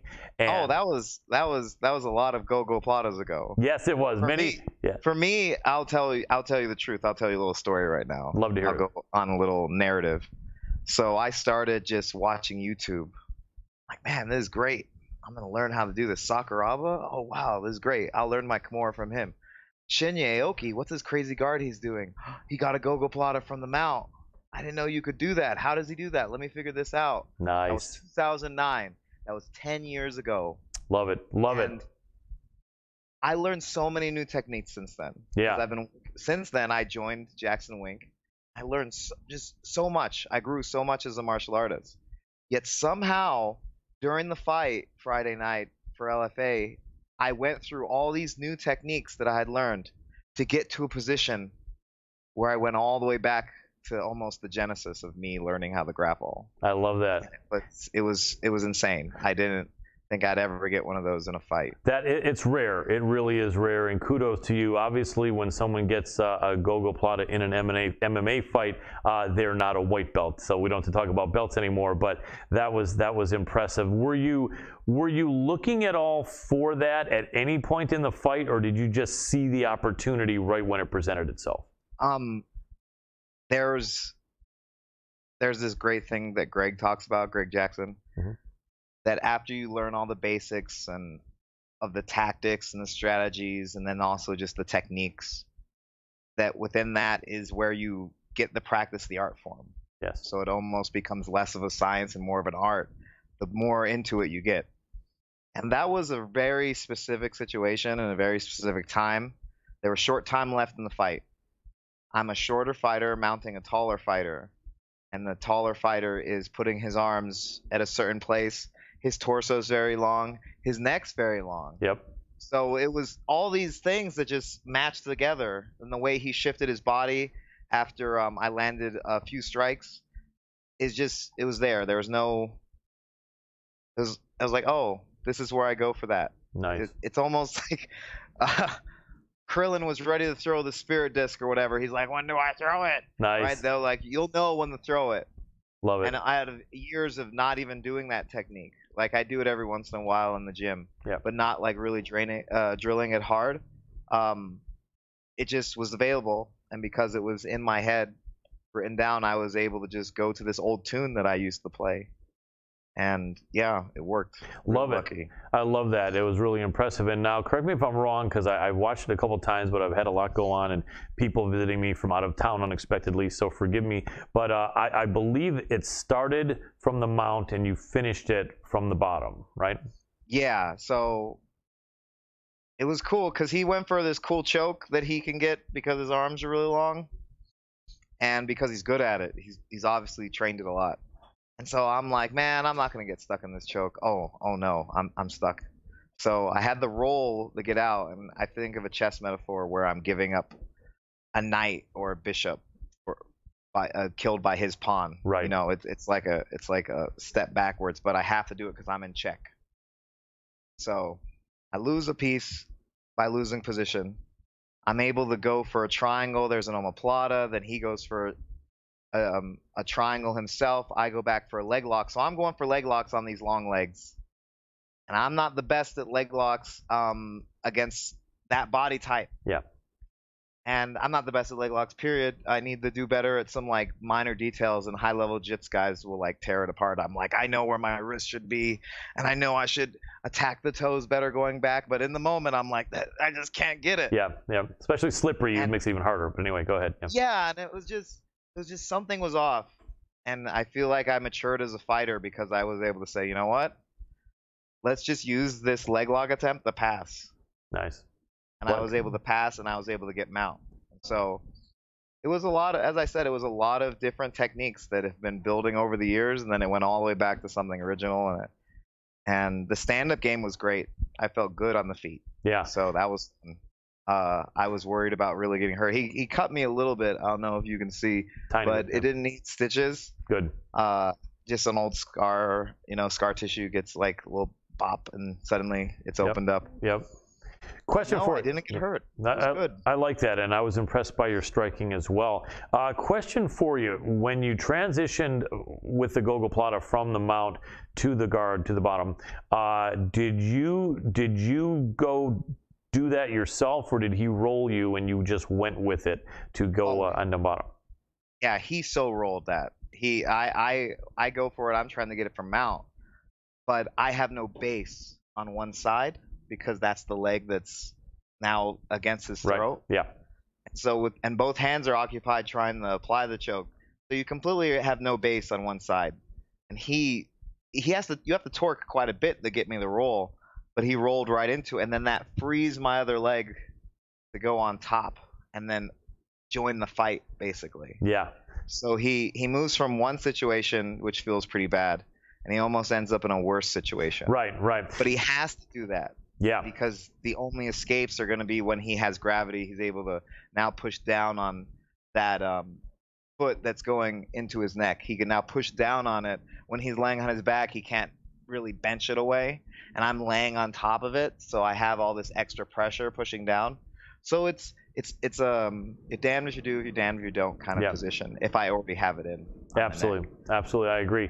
Uh, some really good jujitsu 101. I really appreciate that. It's reminiscent to me of an old, old match way back in the early UFC, the first match that Chuck Liddell had with Jeremy Gumby Horn. I don't know if you remember Yeah. Jeremy Horn. Yeah, Yeah, yeah. And- Gumby was he hated that nickname. yeah, yeah, but he was amazing, man. He had what 100 MMA fights and one like you know he had like 150 MMA fights and won like 130 Yeah. of them or something. But I was uh, Is talking. that like one of those Iowa boys that just like always Yes. Fought like Yes. every weekend Yes, indeed. Yes, Yeah. indeed. He was amazing. And uh, part of the Miletich uh, fighting systems, Miletich Elite, Pat Miletich. I had Pat on the show a few times. The last time I had him on the show, or maybe the time before that, I asked him, I said, he was doing the arm triangle choke, uh, choke that wrestlers love. He wasn't a wrestler, but he was doing an arm triangle choke anyway uh, from the top uh, on Chuck Liddell, and he was uh, he was on mount first, and he, I think he jumped over to the correct side, but he all of a sudden they switched positions and he was on his back and Yeah, I, I had yeah, thought I I, remember that. Right. I remember that now that you say that. right and I had stood right there on his back. Right. I thought he did that, but Pat told me no. The Chuck was a better wrestler than Jeremy and a bigger man, so he rolled Jeremy. But when he rolled Jeremy, Jeremy already had it locked and was able to tighten the figure four on the triangle arm triangle choke from the bottom. And I remember back then a lot of people thought that when Chuck reversed him, Chuck was then winning or about to, you know, posture up and start smashing him.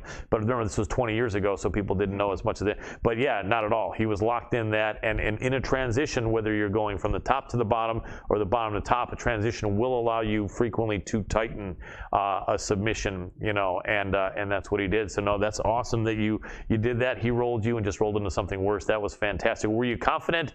At what point were you confident that you had it? Right from the top, uh, or or after he rolled you, or or only the very last second when he tapped? Um, the funny thing was that I kind of got it against Sandhagen, but I was uh, just exhausted at that point, and, and I didn't apply the technique pressure in the back of the head.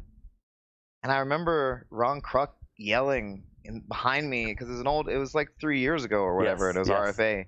So Ron Kruck was there. He was there this night, um, and I could couldn't hear him this night in my head or it, in the background, but that last time I did, and like Tennyson's going for Gogoplata with 30 seconds left.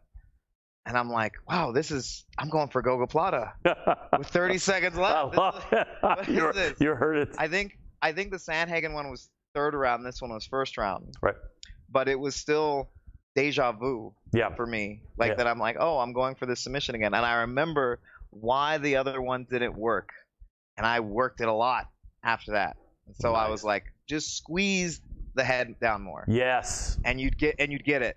And so when I was in that position and my shin was under his neck, I just I just was concentrated on that. Yeah. yeah. Also, I didn't mind that it if it didn't work, that's okay. Yep. What you don't want to do is emotionally tie yourself to certain things. Like right. Right. if I emotionally tied myself to keep on striking with him, or if I mostly tied myself to getting that leg lock that I tried multiple times and adjusted and I kept adjusting, but if it wasn't working, I shouldn't tunnel vision on it.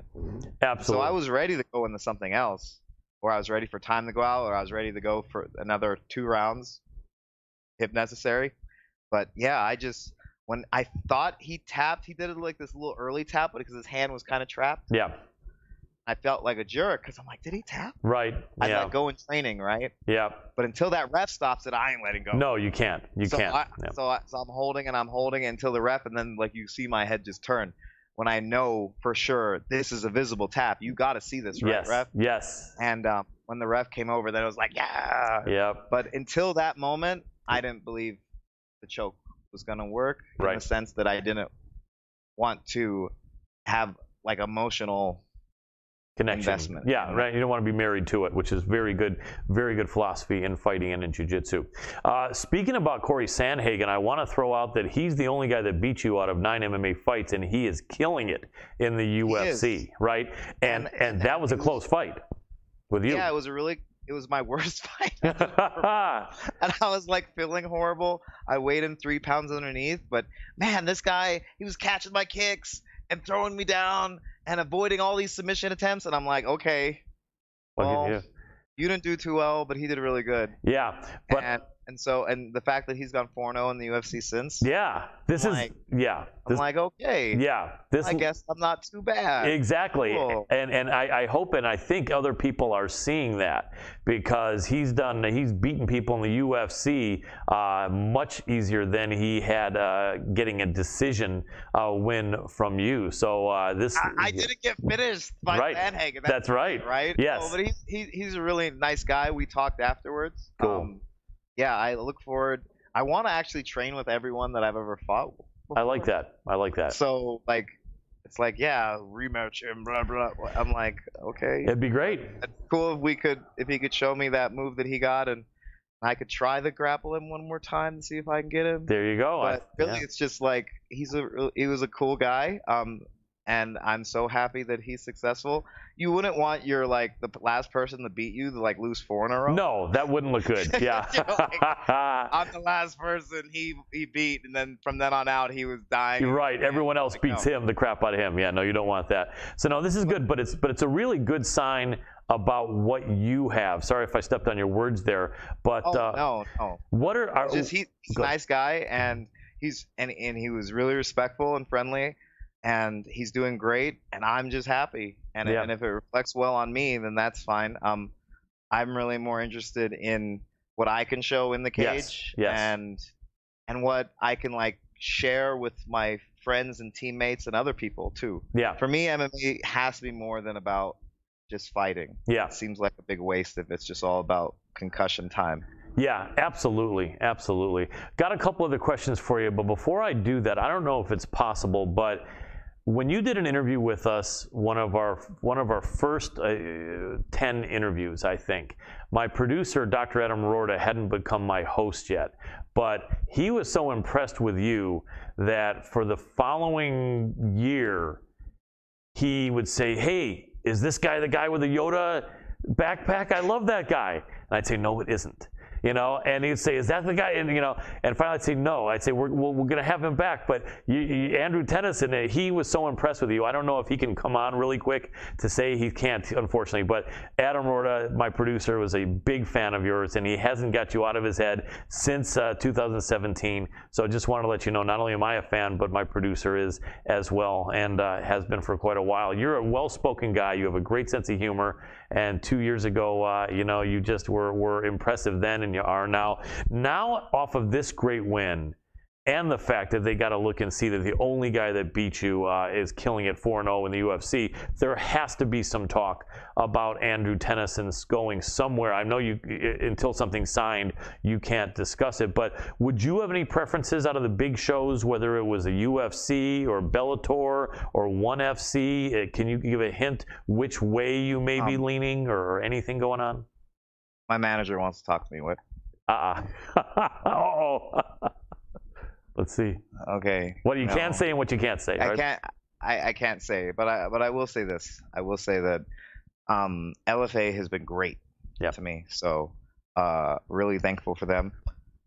But as but I, I was I did this really fun, cool behind the scenes like interview with uh, Pat Miletich and Ron Kruck and Phoenix Mhm. at, uh, before the fight. Mhm.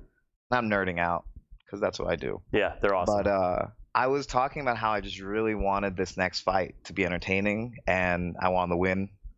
That everything was just going into that fight. And so now I'm like, oh, you saw like I don't know if you guys saw the fight, but I kind of like I put on the water waterworks afterwards. I was I was very emotional. yeah, for sure. And I and I feel like I'm getting more emotional the older I get. I don't know what it is. I'm turning into my mom. She like would cry during Right. I hear you. like commercials with dogs that are sad or something. Yep, She's I can crying, relate. and I'm like, "What are you doing, yeah, mom?" I know, right? And then we do I'm it. 33. Yep. I turned 33 five days before the fight or something, so I had to delay my birthday. The Um, belated so happy no, birthday. no birthday cake when you're cutting weight. No, I can imagine. And so I'm like, well, I haven't been hurt. I have a successful record. I've my only loss is against an, a, ma- a major badass and a nice guy on top of that. Corey Sandhagen. Yeah. Um, like, well, I was in China where I got my cool manager Mm-hmm. um, for seven months last year. Um, and and before my November fight against Joey Miolla, I was off for a year and a half from fighting. Yep.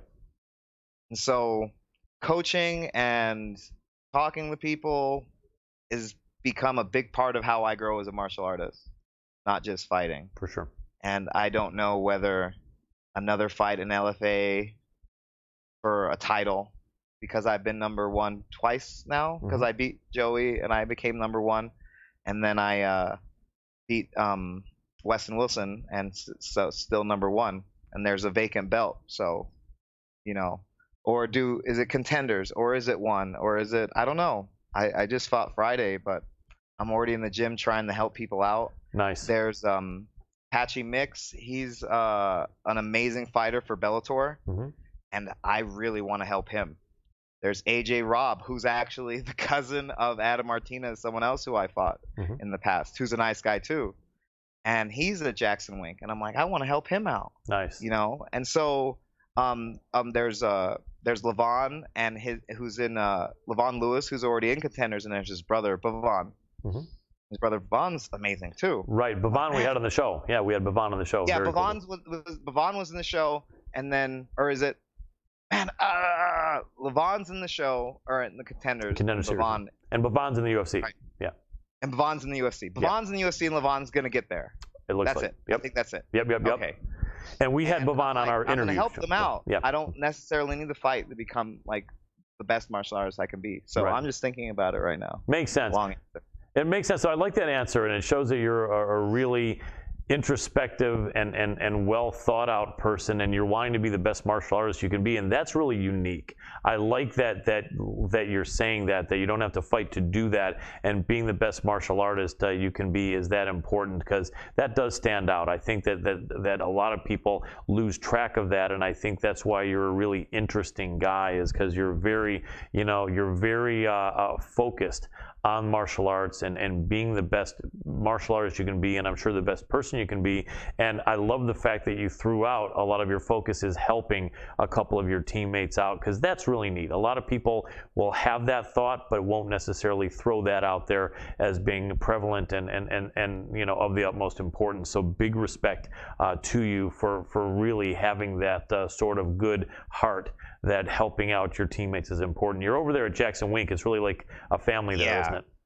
It, it and and it's getting better all the time. We have more people that are coming in. We have uh, dorms that are in there. So if you're a fighter and you want to live and train with the best, you know, um, search Jackson Wink, contact the gym, and you can come and and train. You know, and I'll coach you and I'll teach you everything I know. Yeah, that's. and you can beat me up or I'll beat you up, whatever happens. I love that. But you'll grow and you'll learn and you'll become a better martial artist. Uh, I always think of Sh- uh, Shogun versus Machida, yeah. and I think of how how no one remembers Andre Dida was one of Shogun's main training partners for that fight. hmm and he was an amazing striker in his own right, and he was a good fighter. Not most mostly in like Dream and stuff, but people didn't realize that he was the one that was mimicking Machida for Shogun. Right. Interesting. And so by doing that for months, they fought twice. Mm-hmm.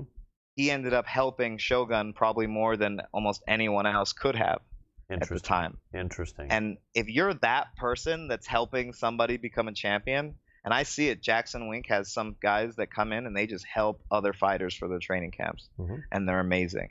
And they would smoke and destroy UFC fighters if they fought, but they don't. Right. They just help out. Yeah. And um, some of Greg's black belts, uh, Ray Martinez, for example, he's only fought amateur MMA, but I'd put his grappling against anyone in the UFC. Nice. And he has so much that he could teach people in the UFC. Nice. And so if I have that kind of situation in the gym for myself where I'm helping the next generation of amateurs and I'm helping the current generation of pros, I mean that and I'm working with the last generation of pros and coaches, then that's great. Yeah. Um, that's going to help me be the best I can be. You know, we say that again and again, but human flourishing is more important than a paycheck to me. I like that. Very, very well stated, and that's a that's a great statement that I think people should remember and even write down. You know what I mean? Helping people is, is more important than a paycheck for you, and that's awesome, man. That's the attitude that that we really need to have out there, and I think uh, in this fight community, the more of us that look out for everyone, like our brothers, like I train jujitsu only, and I, I competed in the last tournament several years ago, almost a decade ago. I'm getting older. I may never again, or I might, but I'm always there helping, and I'm always there wanting to to help make my teammates better, and they are as well. It's a great atmosphere, and it's an atmosphere where everyone can get better. And uh, you know, my late father, may he rest in peace. I throw this out maybe every other show, but he always said one of the best things you can do is to help people. Even if you're up or if you're down you can go out and help people and it'll it'll it'll it'll make things better. It'll it'll bring it back to you but less important than bringing it back to you it's just the right thing to do. I think a lot of times in our society we have a lot of younger people uh, younger than you and even 33 compared to me is young that that you know are thinking right how much fun and how many parties they can have in their lifetime is is the measure about how great their life is. And i think that it misses the picture the the big picture so much. It isn't about how much fun you can have. It's about what you can contribute and how you can help people and how you can be a positive influence. Like i say at the end of our show too i always say spread the love in a positive way right? Be that guy be that girl.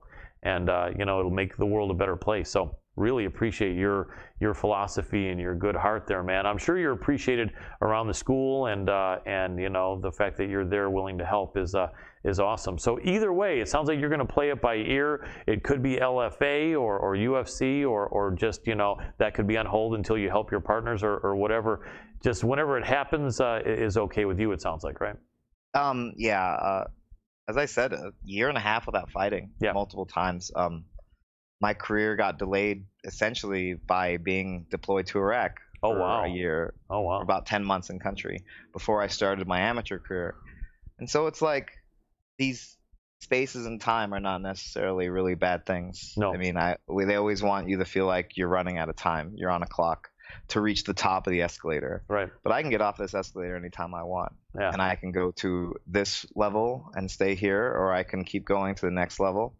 um, or I can completely leave the building. Yeah.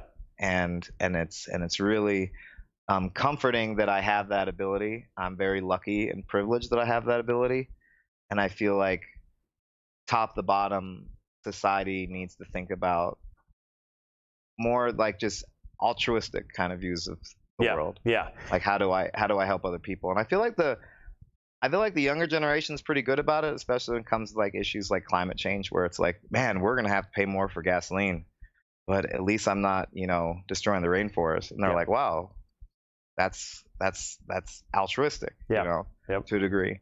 I like um, mm, but versus like whether I don't want to pay more taxes or I don't want to volunteer or I don't want to protest or I don't want to help my training partner when he has a camp or I don't want to pick up that piece of trash that I see on the side of the road in my neighborhood because someone gets paid to do that.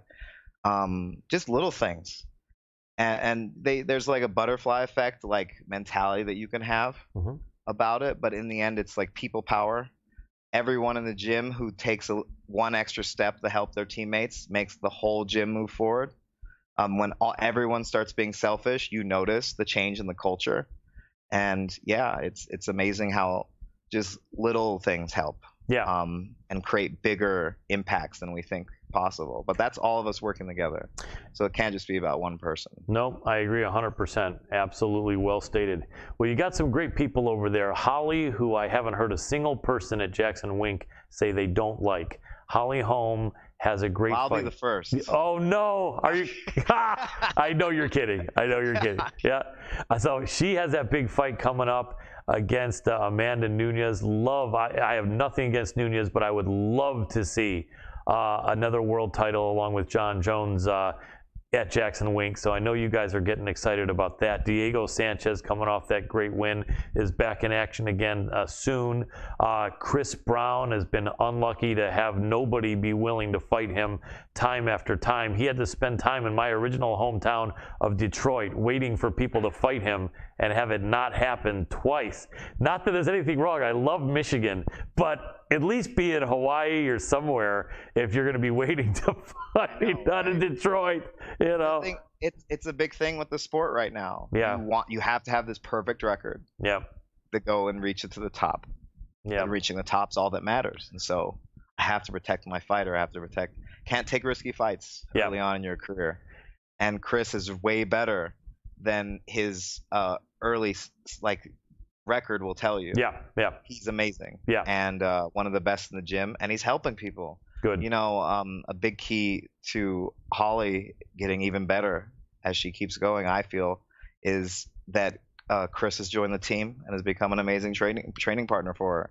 Um, we also have uh, Edwin Cooper, who's an amazing wrestler. He's been helping out with- Nice. with the amateurs, and he's been helping out with the pros when it comes to wrestling because he mm-hmm. was Iowa State, I believe Yeah. and he's he's just made his pro debut, I believe. But I mean, Awesome. Yeah. wow, Yeah. amazing people that are helping Holly get ready for her fight. Yeah. That's great. and then she has her normal crew, and you see the pictures of her with Izzy and and Tusa, and so you know that she has a legit martial arts background Yeah. of people that are supporting her. Absolutely. And whatever kind of plans they come up with to destroy Amanda, I can't wait to see it. Yeah, yeah, me too. I, I'm really excited, and that will that will make her, I guess, not a double champ, but a two-time UFC champion. Yeah. And not right, not only that, but both will have been upsets as an underdog. Although this Mm-hmm. one not as big as a dog as she was to Ronda, but be really, really exciting, and I think that will be great. I still love that level up video that Holly did with Michelle Waterson. Remember, like a year ago. That's Yeah. freaking awesome. I mean, it's And- funny too because I, sh- I showed my girlfriend, and my girlfriend said, "You know, I kind of expected Michelle could move like that, but I didn't think Holly would be dancing like that good." it's, it's that boxing. yeah, be good at. Yeah. You have to have good footwork. Right? yeah, yeah. She looked But- great. But she was a she was a champion kickboxer, boxer, and MMA Yeah. person. Yeah, Like the only the only like thing she could have done is if she went you know ADCC or something or Yeah. won worlds, right, right. and then she'd have like the triple crown. Yeah, like the closest person that ever came to that was uh, Alistair because he won Right. an ADCC in Europe yep, and he won K1's belt yep. and he also won Dreams belt. I Yep. think he's been the closest to that bragging. yeah. right? He was also Strike Force champion. Yeah. Yep. So he was he was doing really well. But Holly, I mean, her ability to go from to from three she's done three combat sports and she's excelled in all of them and been in the top of all of them. Yeah, yeah, And that just says, you know, uh, I of course think she's gonna win and Amanda could win because Amanda's like really talented as well. And I think I called her beating Cyborg like when I saw her in Strikeforce. I'm like, she's the one that's gonna yeah, do it. yeah. I did. I did not from Strikeforce. I didn't call it that far back, but I called it before that fight. Both Adam and I got had Nunes over Cyborg uh, in the upset, but we didn't think it'd go like that. she but she would she would have to do she'd have to beat Holly and then continue winning for years right. to equal what Holly's accomplished in the sport Yep. and just not even her accomplishments as a martial artist but then just her personality she's a great person Yeah. Yeah. I heard and that. so so yeah it's it's really cool to see her get ready it's cool to see uh, Jon Jones get ready and it's cool to see all these other fighters getting ready in the gym and and all these we got i'm telling you guys come and live with us in the dorms uh, it's great there uh, there's a cafe downstairs. You're right there near the bus. You're right there near. We have a big parking lot, and we also have a whole bunch of uh, connections in the community when it comes to meal preps. And you have your kitchen space up there anyway, but also uh, fit fitness gyms and conditioning gyms, and we have our own equipment. It'd be great. Just come and train with me. This Yep. is your chance. You're watching me right now. Yep. You're like, what would it be like to train with this guy? I'll teach you how to do a mountain gogoplata. Man, if I wasn't way over 40, if I could get in a time machine, then I want to go into the dorms and train with you. I, I'm serious, but unfortunately, Do it and document it. Yes. 40-year-old man living the life of a 19-year-old MMA fighter. That would be And awesome. watch that documentary. Yeah, well, that would be awesome, but I think I'm f- far enough away from 40 that it might be just uh, unfortunately not doable. But we'll see. I appreciate the invite, but for anyone else, he is serious. If you're a fighter out there, you know, uh, and and you're serious about your career, it's possible you could end up being part of the Jackson Wink team, living in the dorms with all these amazing people. And and you know, what better could you uh, could you find than someone that can help coach you and teach you and be your partner and training partner there, uh, like Andrew Tennyson. Andrew, what's the best way on social media to hit you up if people actually wanted to maybe ask you what the best way to, to, to contact Jackson Wink would be for Um, that, or just to say hello and support you? Yeah, inst- uh, um, Instagram is the best way to contact me. Tennyson MMA. Um, let me see. Here we go. I don't want to stand too much. There we go.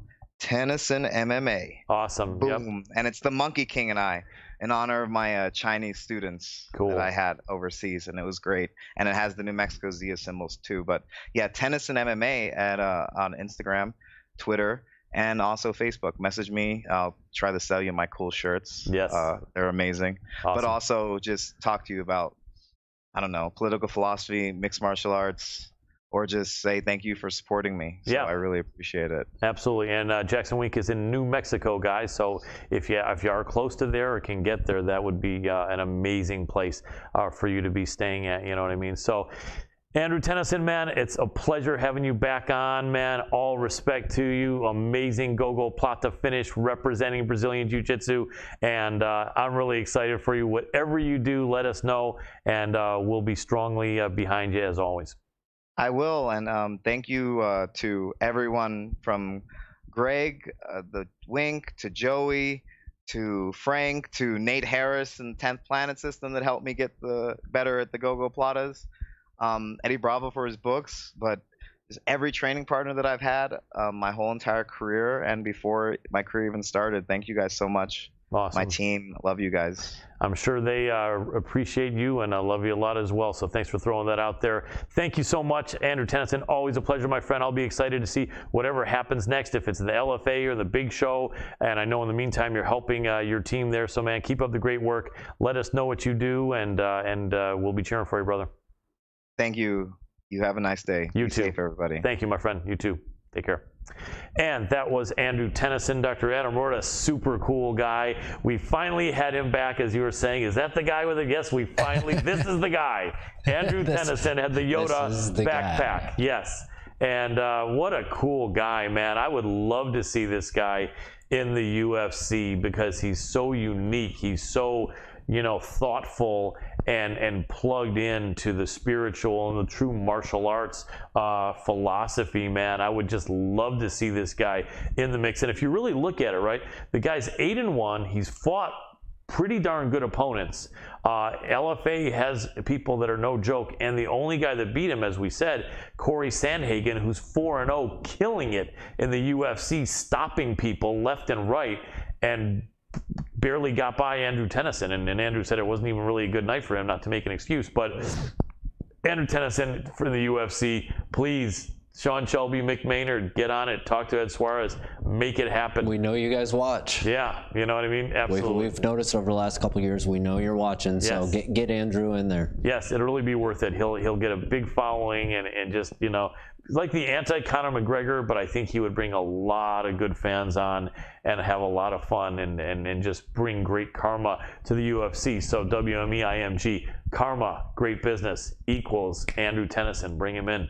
Uh, if not, then Bellator or title fight in the LFA, whatever it takes, man. But at 33, I think his shelf life is pretty good. He's got time left and he'll make stuff happen. And, uh, you know, I'm really looking forward to it. So, Doc, clock on the wall, I think, is saying we're wanting to wrap it up, or do we have a few minutes? I think not, right? Well, real quick before we go, I want to say thank you, Colin, for always bringing some great information to the show. You're one of the most knowledgeable people in the MMA community. Thank you. Uh, you really do uh, let every person know uh, in a very uh, teachable way uh, how much you know. You're not condescending about it or anything, except for me because we have fun. But thank you, thank you. it is it is what it is. But uh, no, you're you're always bringing such great content to this show, and I'm super excited to keep going on this uh, journey forward with you. And uh, everybody out there, if you have not really gotten to know Colin all that well by tuning in, start checking him out on social media on Facebook. He, he's always got great content there. Also, make sure you're liking our Facebook page, MMA Power Hour. You can see it go across the top of the screen every now and then. And uh, uh, support the people that are supporting us, like Combat Press. And uh, make sure to follow us on Twitter and Instagram and, and get out there. Uh, also, uh, definitely, definitely check out the the CBD products over at warfighterhemp.com. They have some of the purest CBD products on the market. So anybody that's uh, not wanting to have any THC inside of them but wants to figure out the healing aspects of CBD, they're your company you want to go with. And you can actually get a 50% off discount or 50% discount by uh, using the promo code in checkout uh, MMA CBD. CBD, yep. Absolutely. They're amazing. No arsenic, no filler, no crap. Half of their proceeds donated to uh, veterans. This is really serious uh, uh, in that we believe in them. War fighter hemp. Fight the war, help veterans, and, and, and you get content product uh, that's clean and that doesn't have crap. Not all CBD or cannabinoid or hemp products are the same. So absolutely Warfighter hemp if you're serious and you want something that, that is great quality. Uh, thank you for the kind words, Dr. Adam Rorta. I really appreciate that. You're you know you're making me look good here with always the great show and the great lighting and uh, and the great graphics and, and, and your fun personality and, and you know knowing your stuff and your Iowa wrestling uh, pedigree uh, even with it being high school, still way, way better than most people in the world. So, all respect to you, fellow Midwest boy. Thank you for everything you do. It's my pleasure working with you.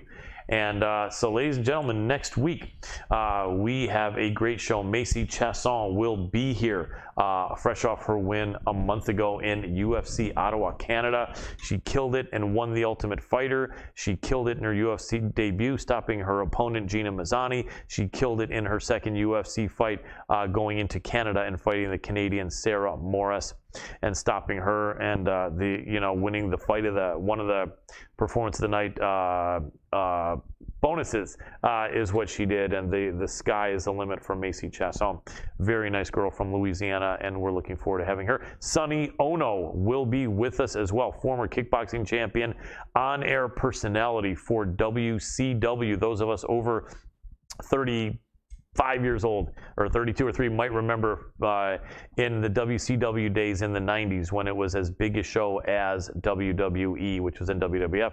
WCW, Eric Bischoff, Sonny Onoo, the evil uh, Japanese uh, valet and uh, you know American Japanese. He's been here, I think, almost all of his life. He's in Iowa now. Super cool guy. He's got an amazing opportunity for people that want to get their foot in the door in professional wrestling uh, to talk about, as well as a lot of other things. All respect, wonderful guy, Sonny Onoo over there in Iowa, and uh, so we're going to have John from Scotland. We're going to have Chris from England. We're going to have Dana Bluen from Thailand. Just a great show. Super excited. Moo, I think, will be here. He can't moo now, though. He's not here. Dr. Adam Rorta is here. I'll be here. And uh, be kind to yourself. Be kind to each other. Take good care of your pets. Look out for your parents, even your coworkers. Be, be the best you can be spread the love in a positive way. Be that guy, be that girl. It'll come back to you tenfold. And uh, go out and be a friend and take care of each other and uh, tell someone you love them and you got their back. It'll really uh, be uh, more important and impactful than, than you might even ever imagine. All right. So, for the entire team here at the MMA Power Hour, this is Colin Crandall, and I'm tapping out.